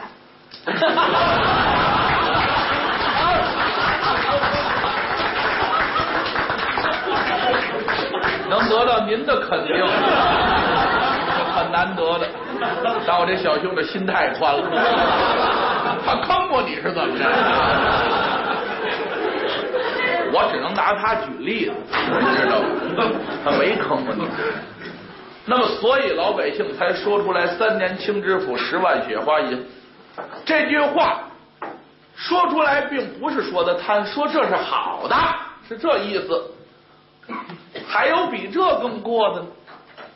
他三年呐，二年头上他为了三百钱，原文写三百银，银子的银，就能够迫害人命。所以蒲松龄在前面借老昌的嘴才有这的话：笑三百钱者变耳翁也，那就是你爸爸，骂出这么难听、这么狠的话。现在借美女的嘴，把这个问题要告诉风云亭。我恨他，不是我一人，大伙恨，恨到什么份儿？来到郡上十有八年，奴被屈含冤一十六载。风云亭一听难受，美女啊，梅大姑娘，我没想到啊，你在这墙里边或者地下，不管你在哪待着。一待待十六年，受这样的罪，那么无怪乎现在你能够亲手的杀死仇人，这样的痛快，快意恩仇啊！不管男女，本来没有这个力量报仇，现在愣报了，那就是几次要谈这个难以启齿，都是因为这个美女跟他谈话，话说到这儿了。要想让他帮忙报仇，不能提，力量太悬殊。今天要把这谜底揭了，那么我也不知道他来，没想到他来了，这是主动的仇人送上门来。原文写四听，就是偷听，这个偷听很不道德，也很不光彩。但是美女是鬼，风云亭这儿来了客人了，自己一现身形给吓跑了，是好意。我听听谁来了。没想到一听，跟顾氏爱卿打起来了，那是活着他的小妾，他认为这个小妾死后不贞，阴间为娼丢了他的人了。没想到老昌出来把他连打带骂，那么逮着这样的机会，我还不动手吗？不义竟仇人也，应了那句话：踏破铁鞋无觅处。得来全不费功夫，我几次难以启齿，要跟你讲，让你替我报仇，我都不敢提，那等于给你添事儿。你一个山里的秀才，他住的太行山呢，这是县郡的，你有什么力量跟一线的公安局长、法院的院长来抗衡？所以我怕给你添麻烦，不提。但是没想到报仇报的这么容易，而且是亲手，高兴。哼天网恢恢，疏而不漏。这这该着他这么死，该着河里死，井里死不了。嗯，那有人掉井里没事儿，这王文林王先生掉井里了没事儿。王文林王先生秃脑袋，知道吧？打年轻时候就没头发，走着走着，大伙一回头，哎，王文林哪去了？这一井是不是掉井里了？有一位喝多了。啊，姓李叫李艳明过去没有？这是一小肚，小肚像话吗？王先生这腿到现在有点毛病，就那回摔的。可他人先下去，井盖下来又把他腿卡在里头了。大伙不知道应该先拽井盖，结果一拽他，呲啦一下，这腿受点伤。几十年到现在，有时候还疼。哎，你说这也算掉井里头，大难不死必有后福。所以你该着河里死，井里死不了。哎，这个并不唯物啊！我在这不宣传封建迷信。那么爱卿呢？病了。这地方您听啊，他跟美女并没有关系，这会儿还没有发生任何关系。那么他要跟美女发生关系，美女不让，在阴间找一替身，因为他就是妓女，钱不用你给，我给。那么他跟爱卿顾爱卿。是有关系的。他现在美女报完仇，他马上想到了顾爱卿，这人头稍微次点所以风云亭的爱卿病，打那老太太干嘛？老昌这儿说的，一个老妓女。那么现在怎么办呢？你的仇也报了，你是该投胎去了？那么风相，我要问问你，当初你救我的时候。做出那么大的牺牲，毁屋断梁，花以重金，等于把这间房买下来一样，把这个房梁断下来焚了，拿火烧，把我救出来，释放出来。你当时跟我说要毁家相救，就是你太行山这个家可以不要了，打算赎我。这个话还算不算数？风云亭一听，扑棱一下站起来，一脸啊正色，当然算了，一定是算了。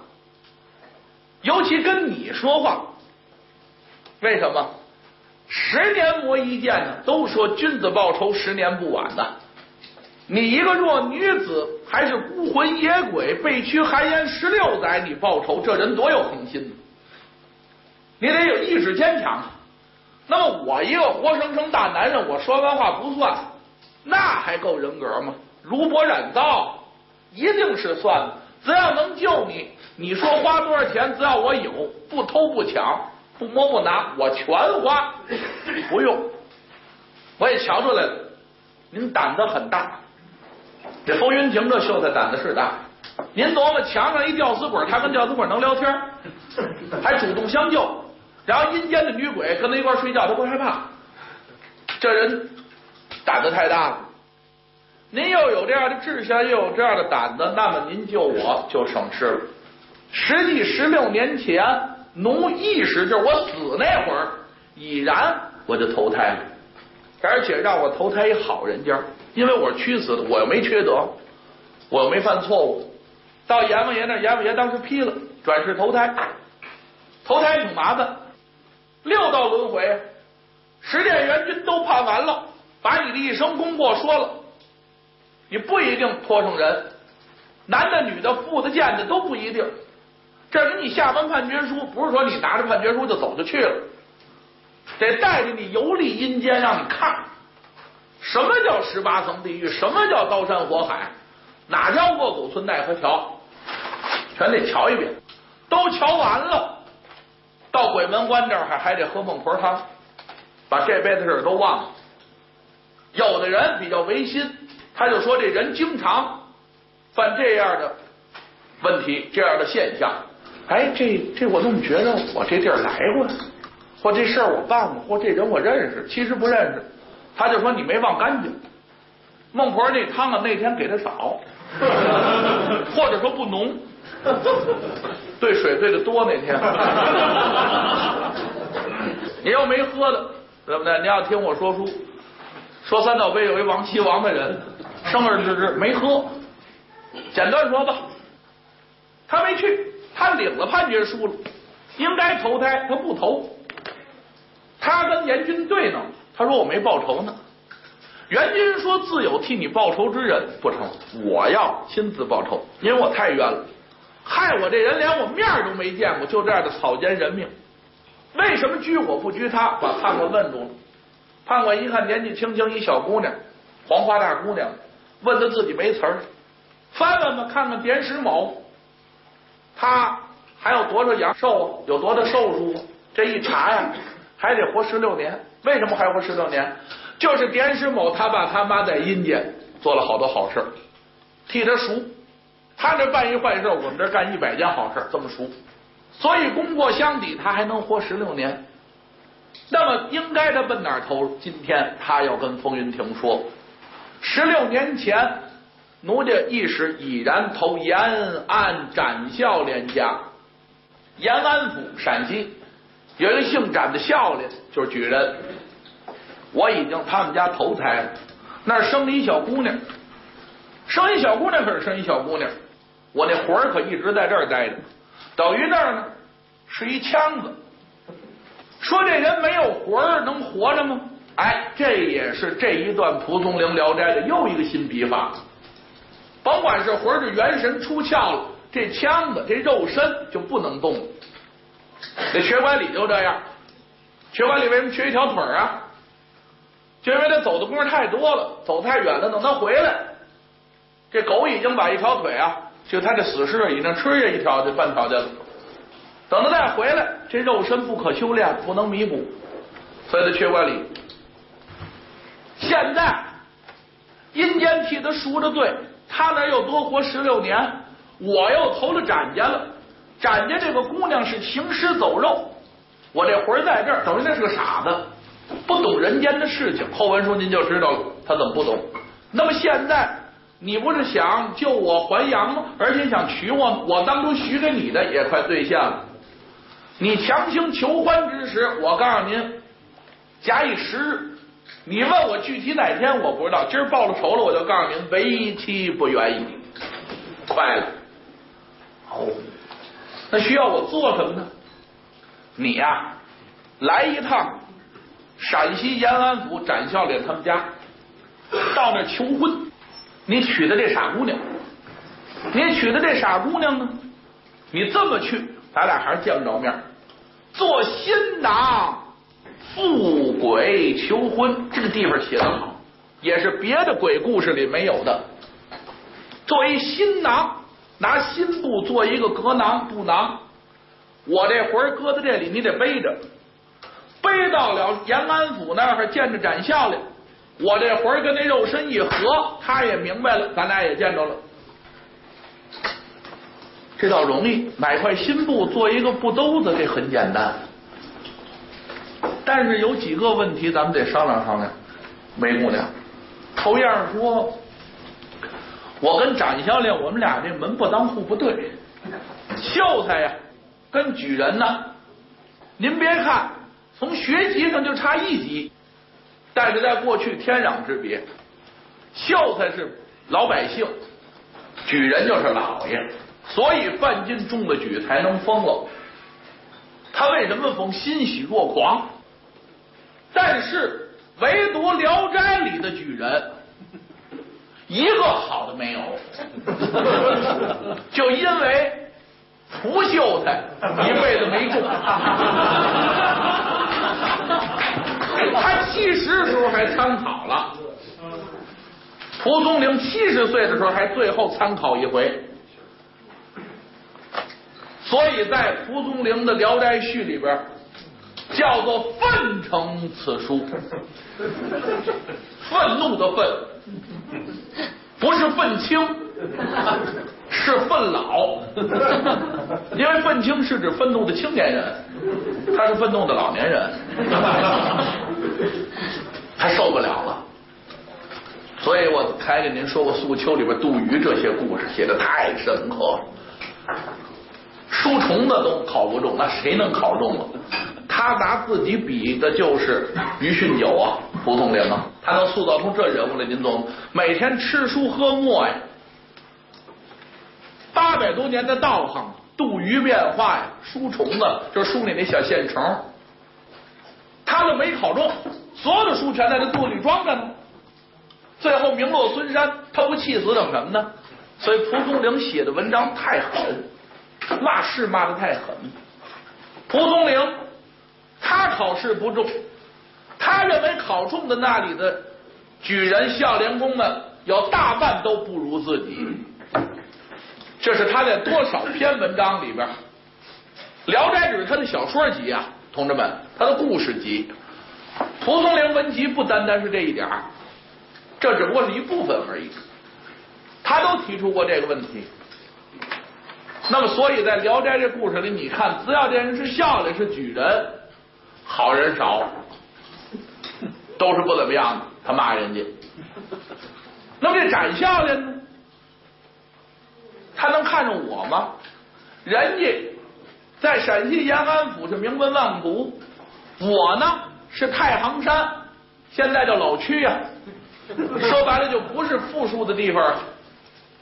我是山里边这么一穷秀才，我到那我说您把这千金的闺阁啊小姐给我，人家能干吗？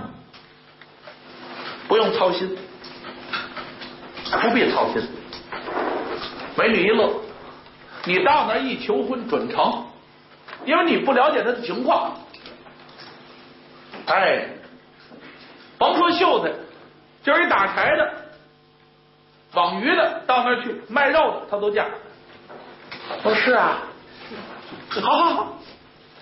那么我做好了新郎，我到那儿去见着这位展示小姐，我怎么把你释放出来呢？你们俩怎么合体呢？因为这事儿咱没经过呀。是当时喊希瑞希瑞，还是小宇宙爆发，还是怎么一变？反正是啊，能量块进来是怎么着呢？啊，他他反他这总有一个变身的办法。以鬼囊挂新人手，有个咒语，很简单，四个字：勿忘，勿忘，别忘。嗯。就这么简单，您记得住？你这是好，我秀才呀！这四个字我还记不住吗？以鬼囊装鬼，这囊挂新人手，哎，呼勿忘勿忘。可是有一节，道上慎乎这地方是关键，写的细。这路上你可别叫我名字，也别喊这句话，你一喊我就出来。可是当时有谁算谁，我滋溜就进去了。万一有一拾荒的老大爷。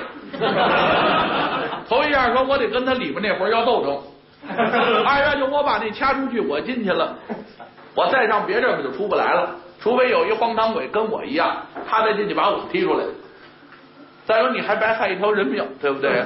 大伙别喊，多呢，见着展示女了，把这挂在他脖子底下，你再喊。哎，好嘞，那我准备去去买布去。买这个青布，新的青布，就是咱们做黑菇用的那个，做一个沙囊，那很简单，是不是？哎，就是两块布一缝，缝完一掏就行了，弄一缩口松紧口，把手撑开了，晚上一叫美女，美女来了，把这口刚一撑开，美女这个魂儿隐跃囊中。没话了，砰一下进去了，把这口一缩，就戴在自己的身上。赵匡胤千里送京娘啊，风云亭千里送孤鬼，带在身上，写得好，这地方感人。简短说吧，到了陕西延安府一打听，还没别人，姓展的孝廉就这一家。在当地确实名门望族，很有名望的一位展孝廉。打听打听吧，展孝廉他们家有没有一十六的姑娘？这一问呐，乐子大了。怎么？整个延安府没有不知道的。展家这位二姑娘，展家头大的是个小子，二的是个姑娘，今年一十六岁。原文上写。人长得这个相貌啊，叫做极端美，不是极端的美，是极极品的极，端庄的端，美丽的美，并不是说它极端的美，不是这么连句啊，这是仨断句，极端美，就不单是美丽，还很端庄的，他没法不端庄。没有那傻子，在美丽跟端庄的后边写持绝，这多狠！持就完了吗？持绝要多傻有多傻，光傻还不行，长那么漂亮啊！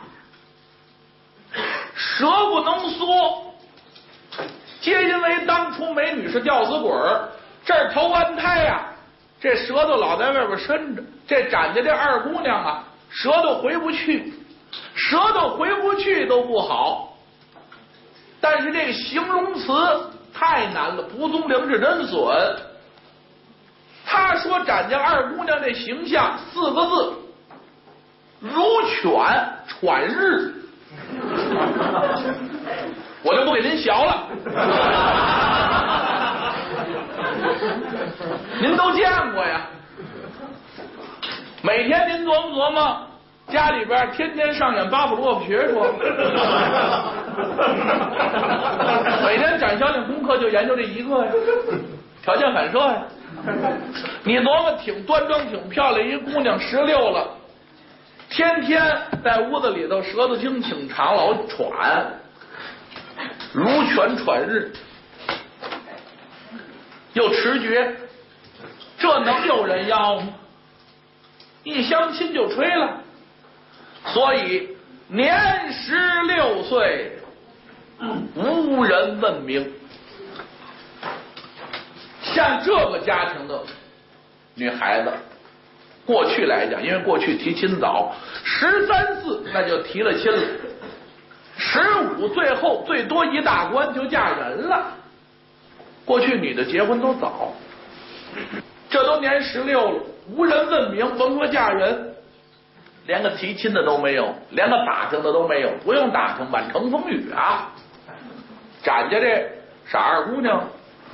跟狗一样，伸着大舌头，天天老喘，要谁也不能要她呀。那么这个信息，风云亭这么一了解，明白了。风云亭一琢磨，我也够难的。我说美女，告诉到这儿来一说准成了。我好歹有功名，我秀才，是不是？我长得又不错，我到这一求婚，那非得给我不行啊！可是美女说那个要灵还好办，我旺不旺，扑一下魂进去，回过来了，那都好办。要往魂进去喽，这模样不改，这可也够闹腾的。听美女的吧，递名次，就名片。拜见展孝廉，规规矩矩。孝廉公不知道哪儿的学生，持弟子礼，因为您是学界前辈。说白了吧，您是大学水平，我是中学水平，我向您来学习了。很客气的，把太行郡的秀才风云亭让到自己家中。一瞧，嘿，长得也好。这个学问也不错，简单的一谈话，很赏识风云亭。问了半天，没问出目的来，就是来到了陕西延安府，闻听孝廉公您老人家的学名，很多人向我推荐要学习上您这儿来，所以今天斗胆造次，拜望您日后短不了。啊，常登您的府门，有遇见疑难的问题要来求教，说话又客气，啊，态度又好，长得又好，学问也不错，这就叫上人见喜，第一印象很良好，先入为主。那么展孝廉对他这个印象很好，他自己也有感觉，三言两语告辞出来，这是求婚的先步。不认识，贸然的就去求婚，那不成，人家就起了戒心了。你要干嘛呀？拜望完了，这才脱媒。原文写的干净，既出脱媒，打那一出来，马上就脱媒的。穷光蛋呢，他并没有多少资产，他在太行家里边，咱前文说了，小康之家，小康是什么？能解决温饱。那么他在郡上买人家屋子，烧人家房梁，积蓄其实花的差不多了。他到这儿来，不能说身无分文，反正是不富裕。那么媒人呢？一开始一听这事儿，真是不大想管。为什么？媒人要去说，也得把这事说成喽。就拿现在婚介所来说，他要给你推荐的时候，他要提他的成功率是多少啊？我们这儿一共每天啊有二百多个青年男女来，一对都不成，那谁还来呀？而且还得把成功的请来现身说法，他怎么爱他，他怎么爱他。我们这儿很成功的那才行呢。过去媒人也注意宣传呢，这个几乎的可能性为零。你架不住风云亭能说呀，紧着央给这媒婆又给了好些钱，媒婆来了。到这啪啪啪一说，先开始找展孝廉，不知怎么事，他们家没有媒婆来，年十六岁无问名者呀，没人问呢。媒婆一来，要是给头大的提婚，叫展大成，他这儿子，笑脸可没名字，展大成可有名字。您觉得这书写的好啊？他爸爸姓什么叫什么不提，就说展孝廉。他儿子大成可有名字，哎，这就是有书的地方。那他已经结婚了，是不是？我都抱孙子了。那您给谁提呀？给二姑娘提。二姑娘您见过吗？嗯，没见过，也有过耳闻。这话可就明白了，你知道他的情况。哦，谁呢？嗯，山西人，山西人也是个有功名的小伙子，秀才，叫风云亭。哟，前阵子来看我的，那孩子挺漂亮，挺精神。他干嘛？他想娶二姑娘，问，真有心说不给。为什么？把孩子耽误了。人家孩子挺漂亮，挺精神，挺有文化的。我的我的文媒啊，我的家庭啊，不如他，他够不上，他巴结着我呢。但是这二姑娘太难了。呃，是您找的他，他拖的您。废话，可不他拖的我吧？我疯了，我管这个。您以为您家这二姑娘好，香喷宝贝儿似的？不是，不好往外推着呢。啊，哦，是是是，您别急。这个有一个条件，我允婚可以入赘，也就是说，我这二姑娘跟着他不行。这是展孝廉心眼多的地方。为什么？怕二姑娘受委屈。您琢磨，这么一个家庭的小姐，又是傻子，模样挺好，有这毛病，跟着去，到了外省外县，头一样说陕西延安府展示，家丑外扬，人家都知道了。另外，跟着到婆婆家，不管婆婆家有什么人，肯定是瞧不起她。而且我这闺女什么也干不了，打小忙也不会。什么叫这个缝缝补补啊？针线活做个饭全不会呀。所以，如果这个风云亭他在老家没有别的人的话，他要同意入赘，我就同意。媒婆一听啊，对了，他来时说了，就是这意思。因为啊，他没码，他呀娶您这个不娶，还嫁到你们展家，就你们展家人了。改不改姓，你们翁婿商量着来。您要同意，咱们就办。展孝廉那还不办？头样先入为主，他对冯云亭有好感的。二样这一提亲，这个条件他同意。另外，总有一分内疚，觉得对不起那小伙子，同意了。风云亭再来可就不一样了，姑老爷了。到门口那就不是一般的进去，跟上回不一样。上回递完名片，恭恭敬敬跟着家人进去，这大不大在门口，展大成得出来接来了。这是大舅哥呀，妹夫，您跟我来，到里边拜堂吧。拜堂好办，有盖头，也看不见什么模样，就是展示老两口子上座，俩人跪在这一磕头，夫妻对拜，拜天地拜高堂，夫妻对拜入洞房，到洞房里边一掀盖头，风云亭这么一瞧，试试吧。可就把这个布囊拿出来了。他刚拿出布囊来，一抬头，嗯，这可了不得，怎么意思？这傻姑娘展二姑娘啊，开始脱衣裳。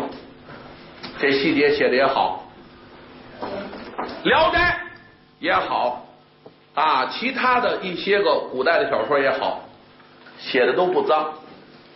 他要有淫秽的内容，我也不能坐这跟您说。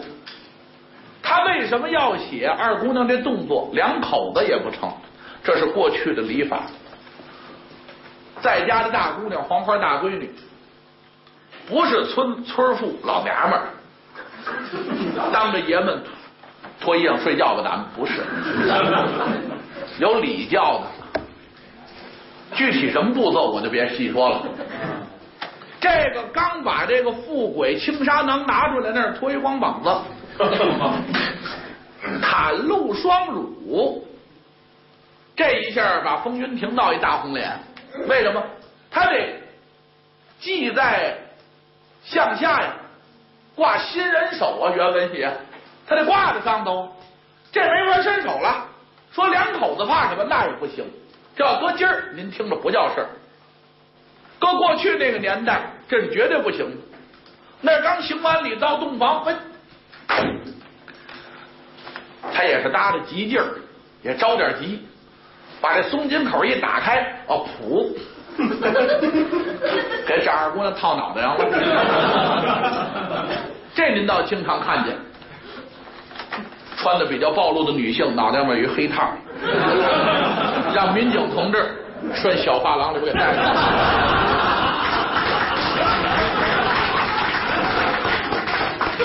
后边还一大哥光着膀子捂着脸，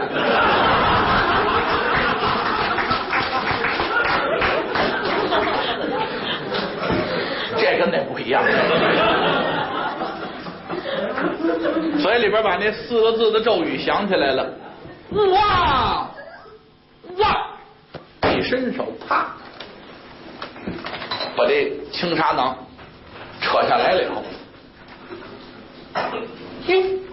你说这玩意儿，舌头回去了，这跟变戏法一样。您琢磨，袒胸露乳，挺漂亮一姑娘，坐在这儿，伸着挺长舌头，龙泉喘日，那形象实在不好，我也没法给您瞧。这青纱囊往脑袋上一照，一喊这勿忘勿忘这咒语，再拿下来，舌头先回去了，而且俩眼见清，但是直勾勾瞅着风云亭。看得出来，琢磨这人是谁？定睛则有，专睛则无啊！连我们相面不有这么句话吗？他看着这儿看，那是啥？跟刚才没什么区别。他不仅他看看你，他想，他动眼珠，这男的谁呀？你看他有表情了。黄云亭乐了，点炸着胆子。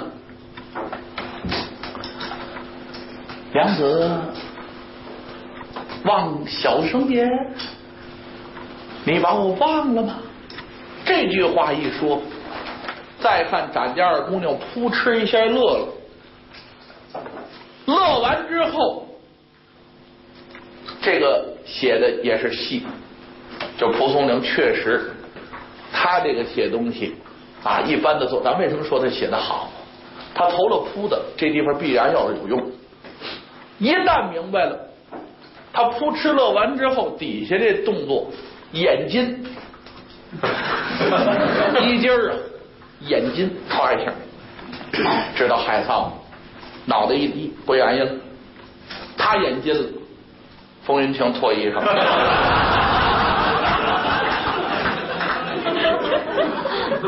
风云亭不是什么老实孩子，你要听前文书，咱们一再说。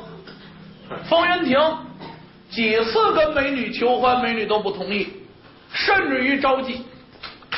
那么也就是说，他对于头一样说男女两性的关系，他很开放。另外，他施恩于美女，他认为美女报答他这是正常的，这也是他的人格不完全高尚的一面，就是施恩图报。打这说，两个人宽衣解带，步入罗围。次日清晨，达旦，到第二天了。你说现在叫他展女呢，还是叫美女呢？都可以。有老先生呢说书呢，这地方给他起一名字，就叫展梅，姓展，梅花的梅，姑娘起这名字也可以。反正您知道，她是美女的魂，展二姑娘的身子就是了。风云亭的媳妇还睡呢，风云亭先起来了。正漱口洗脸，外边有人听动静呃，郭老爷，哎，老爷说您要是起来了，上头了有话跟您说吧。哦，这就来，他入赘人家呀，哎，所以对这老丈人叫爸爸呀，不是翁婿相称啊。赶紧到头了，老两口呢已经吃完早饭了，沏着水，孝廉公呢。哎，拿本书正看书呢，一看姑爷来了，把这书撂下了，冲老太太一使眼神，老太太躲开了。屋里没别人，因为你来我们家呀，你也没见着我闺女，媒婆怎么跟你说的，我也不知道。昨天呢，外边拜堂成亲的时候，他盖着盖头，晚上这一洞房，你可就都明白了。不是说我孝廉人家知书达理的这么一个家庭，书香门第，我们骗婚，是您提出来的要娶我这二姑娘。当老丈不能问昨晚上怎么样，那不能那么说。这个这个这个这个，既然这个所有的情况现在你已然洞悉了啊，已经了然了，那么我怎么弥补你呢？我这二姑娘确实难点儿，呃，甚至于说在接吻上都有一点儿。您什么意思？不是他这个 啊，家中仆辈甚多，颇有几个丫鬟容貌姣好。你的身份呢，比我们家低。你到我们家来，我不嫌弃你，那你就别嫌弃我们家丫鬟了。哎，如果能跟我们家二姑娘长相厮守过长了的话，家里边的丫鬟你随便挑。您就知道，在封建时代，这个女权啊，确实谈不到，男女平权是不可能的。他为了弥补他对风云亭啊这个歉意。他让风云亭在他们家挑俩丫鬟，生气，啊，风云亭乐，好啊，这个挑俩姿势得挑俩啊。既然您说到这儿，我也甭客气，因为爸爸您呢也知道我家里没别人，我原先有媳妇，这咱们情况都介绍过，他媳妇死了，病死了，嗯，但您这闺女没什么不好啊。长得又漂亮又端庄，而且识文断字、知书达理。你等等等会儿，你说我呢，还是说我闺女？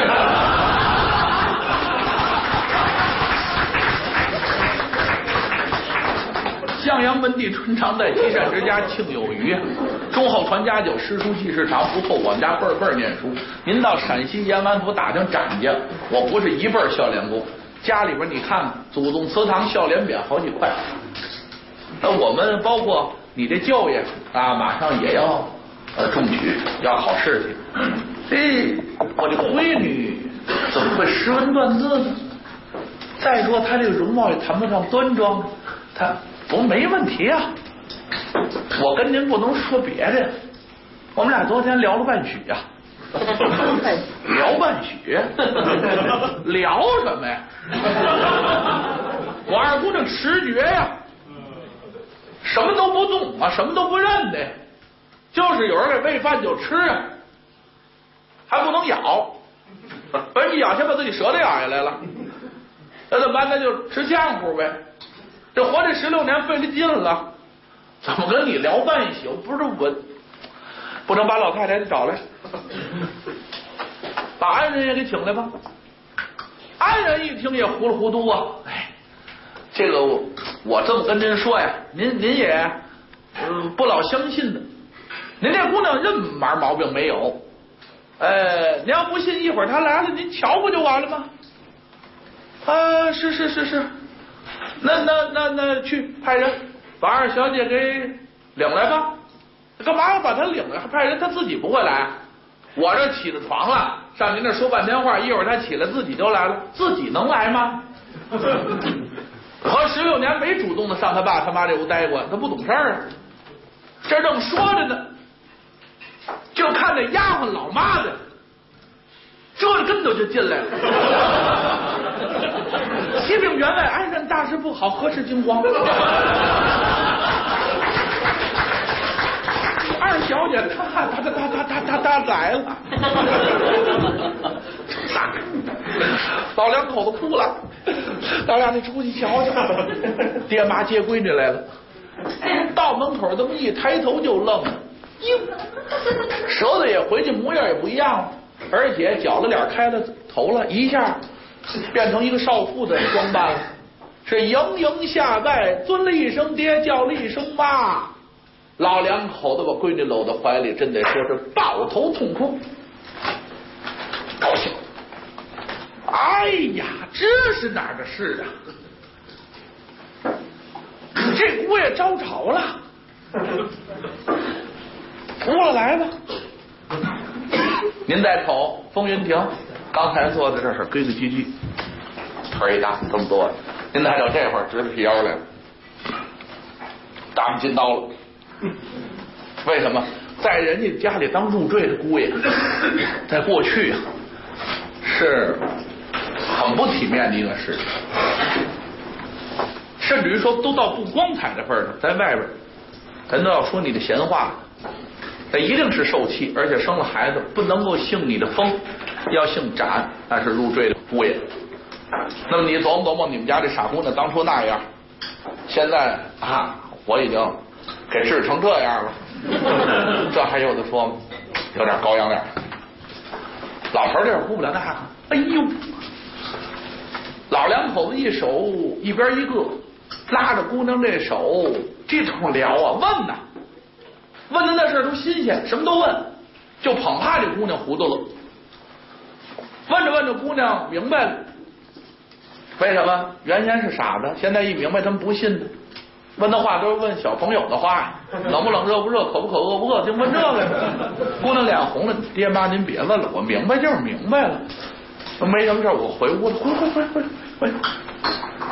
啊，别别，等会儿，一会儿大成在家的时候，跟你哥哥好好聊聊啊，见见你嫂子，你的呃小侄儿都得见见，嗯，挨着牌的厨子老妈子啊，车把门把花把式，全来见二姑娘来。说是来觐见来，头一二位讨点赏，二一位为瞧瞧这个新鲜。真有几位是从小把二姑娘抱了大的，这舌头愣回去了，这头样瞅着就可乐，就新鲜。对这姑爷呀奉若神明。呃，吃完饭，爸爸您把这个丫鬟喊出来吧。我我我我过一遍，过一遍像话吗？我闺女不明白，我着不着吧你？我闺女明白，我闺女还碰不上你吗？坏了，矛盾出现了。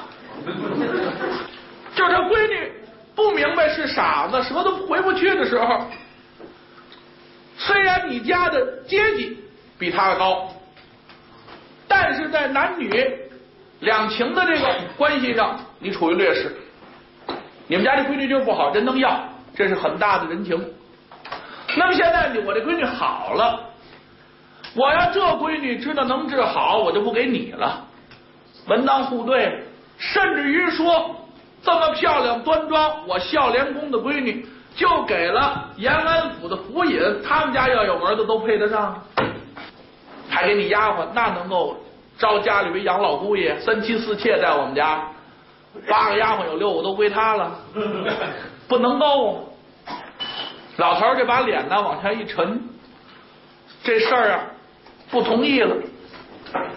当然那是新婚燕尔，跟美女的那种感情有患难之交、生死之交，由死到生啊。说生死之交都是由生到死，唯独他是由死到生，所以他这是句玩笑话。那得了，您不给不要了。没什么事我回屋一会儿吃饭，喊们两口子。大成回来了，兄妹相见自有一番感慨，不必细说。但一家人不明白这风云亭有什么能耐呀？除了学问好、长得好，难道还会仙术不成吗？那么大成与这个风云亭同学，怎么同学呢？就打这儿一块念书用功。养老的姑爷出不去了。你就在这待着吧。这一念书啊，感觉大成这学问呐，比风云亭还差点儿先开始俩人关系很好，慢慢的呀，这大舅爷呀，对这妹夫啊，可就有点成见，因为这个妹夫不太客气。对老爷子还行，对他老丈人展孝廉还行，对展大成啊，原文上写礼稍懈，在礼数上稍微有点懈怠。那具体到什么方面呢？就是说话的时候不那么客气。可你在人家入赘，你要明白你的关系。展大成对于他把妹妹治好这个事情本身就有疑惑，现在他又有这么一个态度，所以展大成心里不太高兴。底下的奴才都是看家主的眼色，赶展大成再跟风云亭一说话慢搭了音儿了，底下人呢可就不那么客气了。叫您是姑老爷，那是好听的。您是一个穷酸，说白了，穷小子，到我们家您一下一跟子折皮袄里了。您每天要吃要喝，每天书房里摇头尾巴晃，知乎者也，以言哀哉，三字经、破戒性、千字文啊，七皮二黄梆子枪，您这么一念，拿您作威作福，您有什么了不起的？大家伙对他的态度也有所改变，不仅有所改变，背着他的时候啊，闲言碎语可就来了，没有好听的吧？可是展家的二姑娘跟姑爷风云亭也看出大家这个变化来了。这天，这个美女她可就跟风云亭说了。翁家不宜久留，你再待下去，可就要打起来了。趁着现在没有大戏大怨，大戏是强戏的戏，没有大的裂痕，没有大的怨恨，赶紧走。风云亭一听，对我这老丈人、老丈母娘、大舅爷、大舅嫂，加上一家子下人，现在对我都有看法，尤其那几个丫鬟。就仿佛我老要报战他们似的。其实当初一句戏言，跟老丈人提吗？好，这一下惹祸了。父兄皆怒，封云亭提出来要带着走，这个触及到当时封建礼教制度的根本。你是入赘的姑爷，您带着我闺女走可不成。父兄大怒，当时就跟封云亭瞪眼了。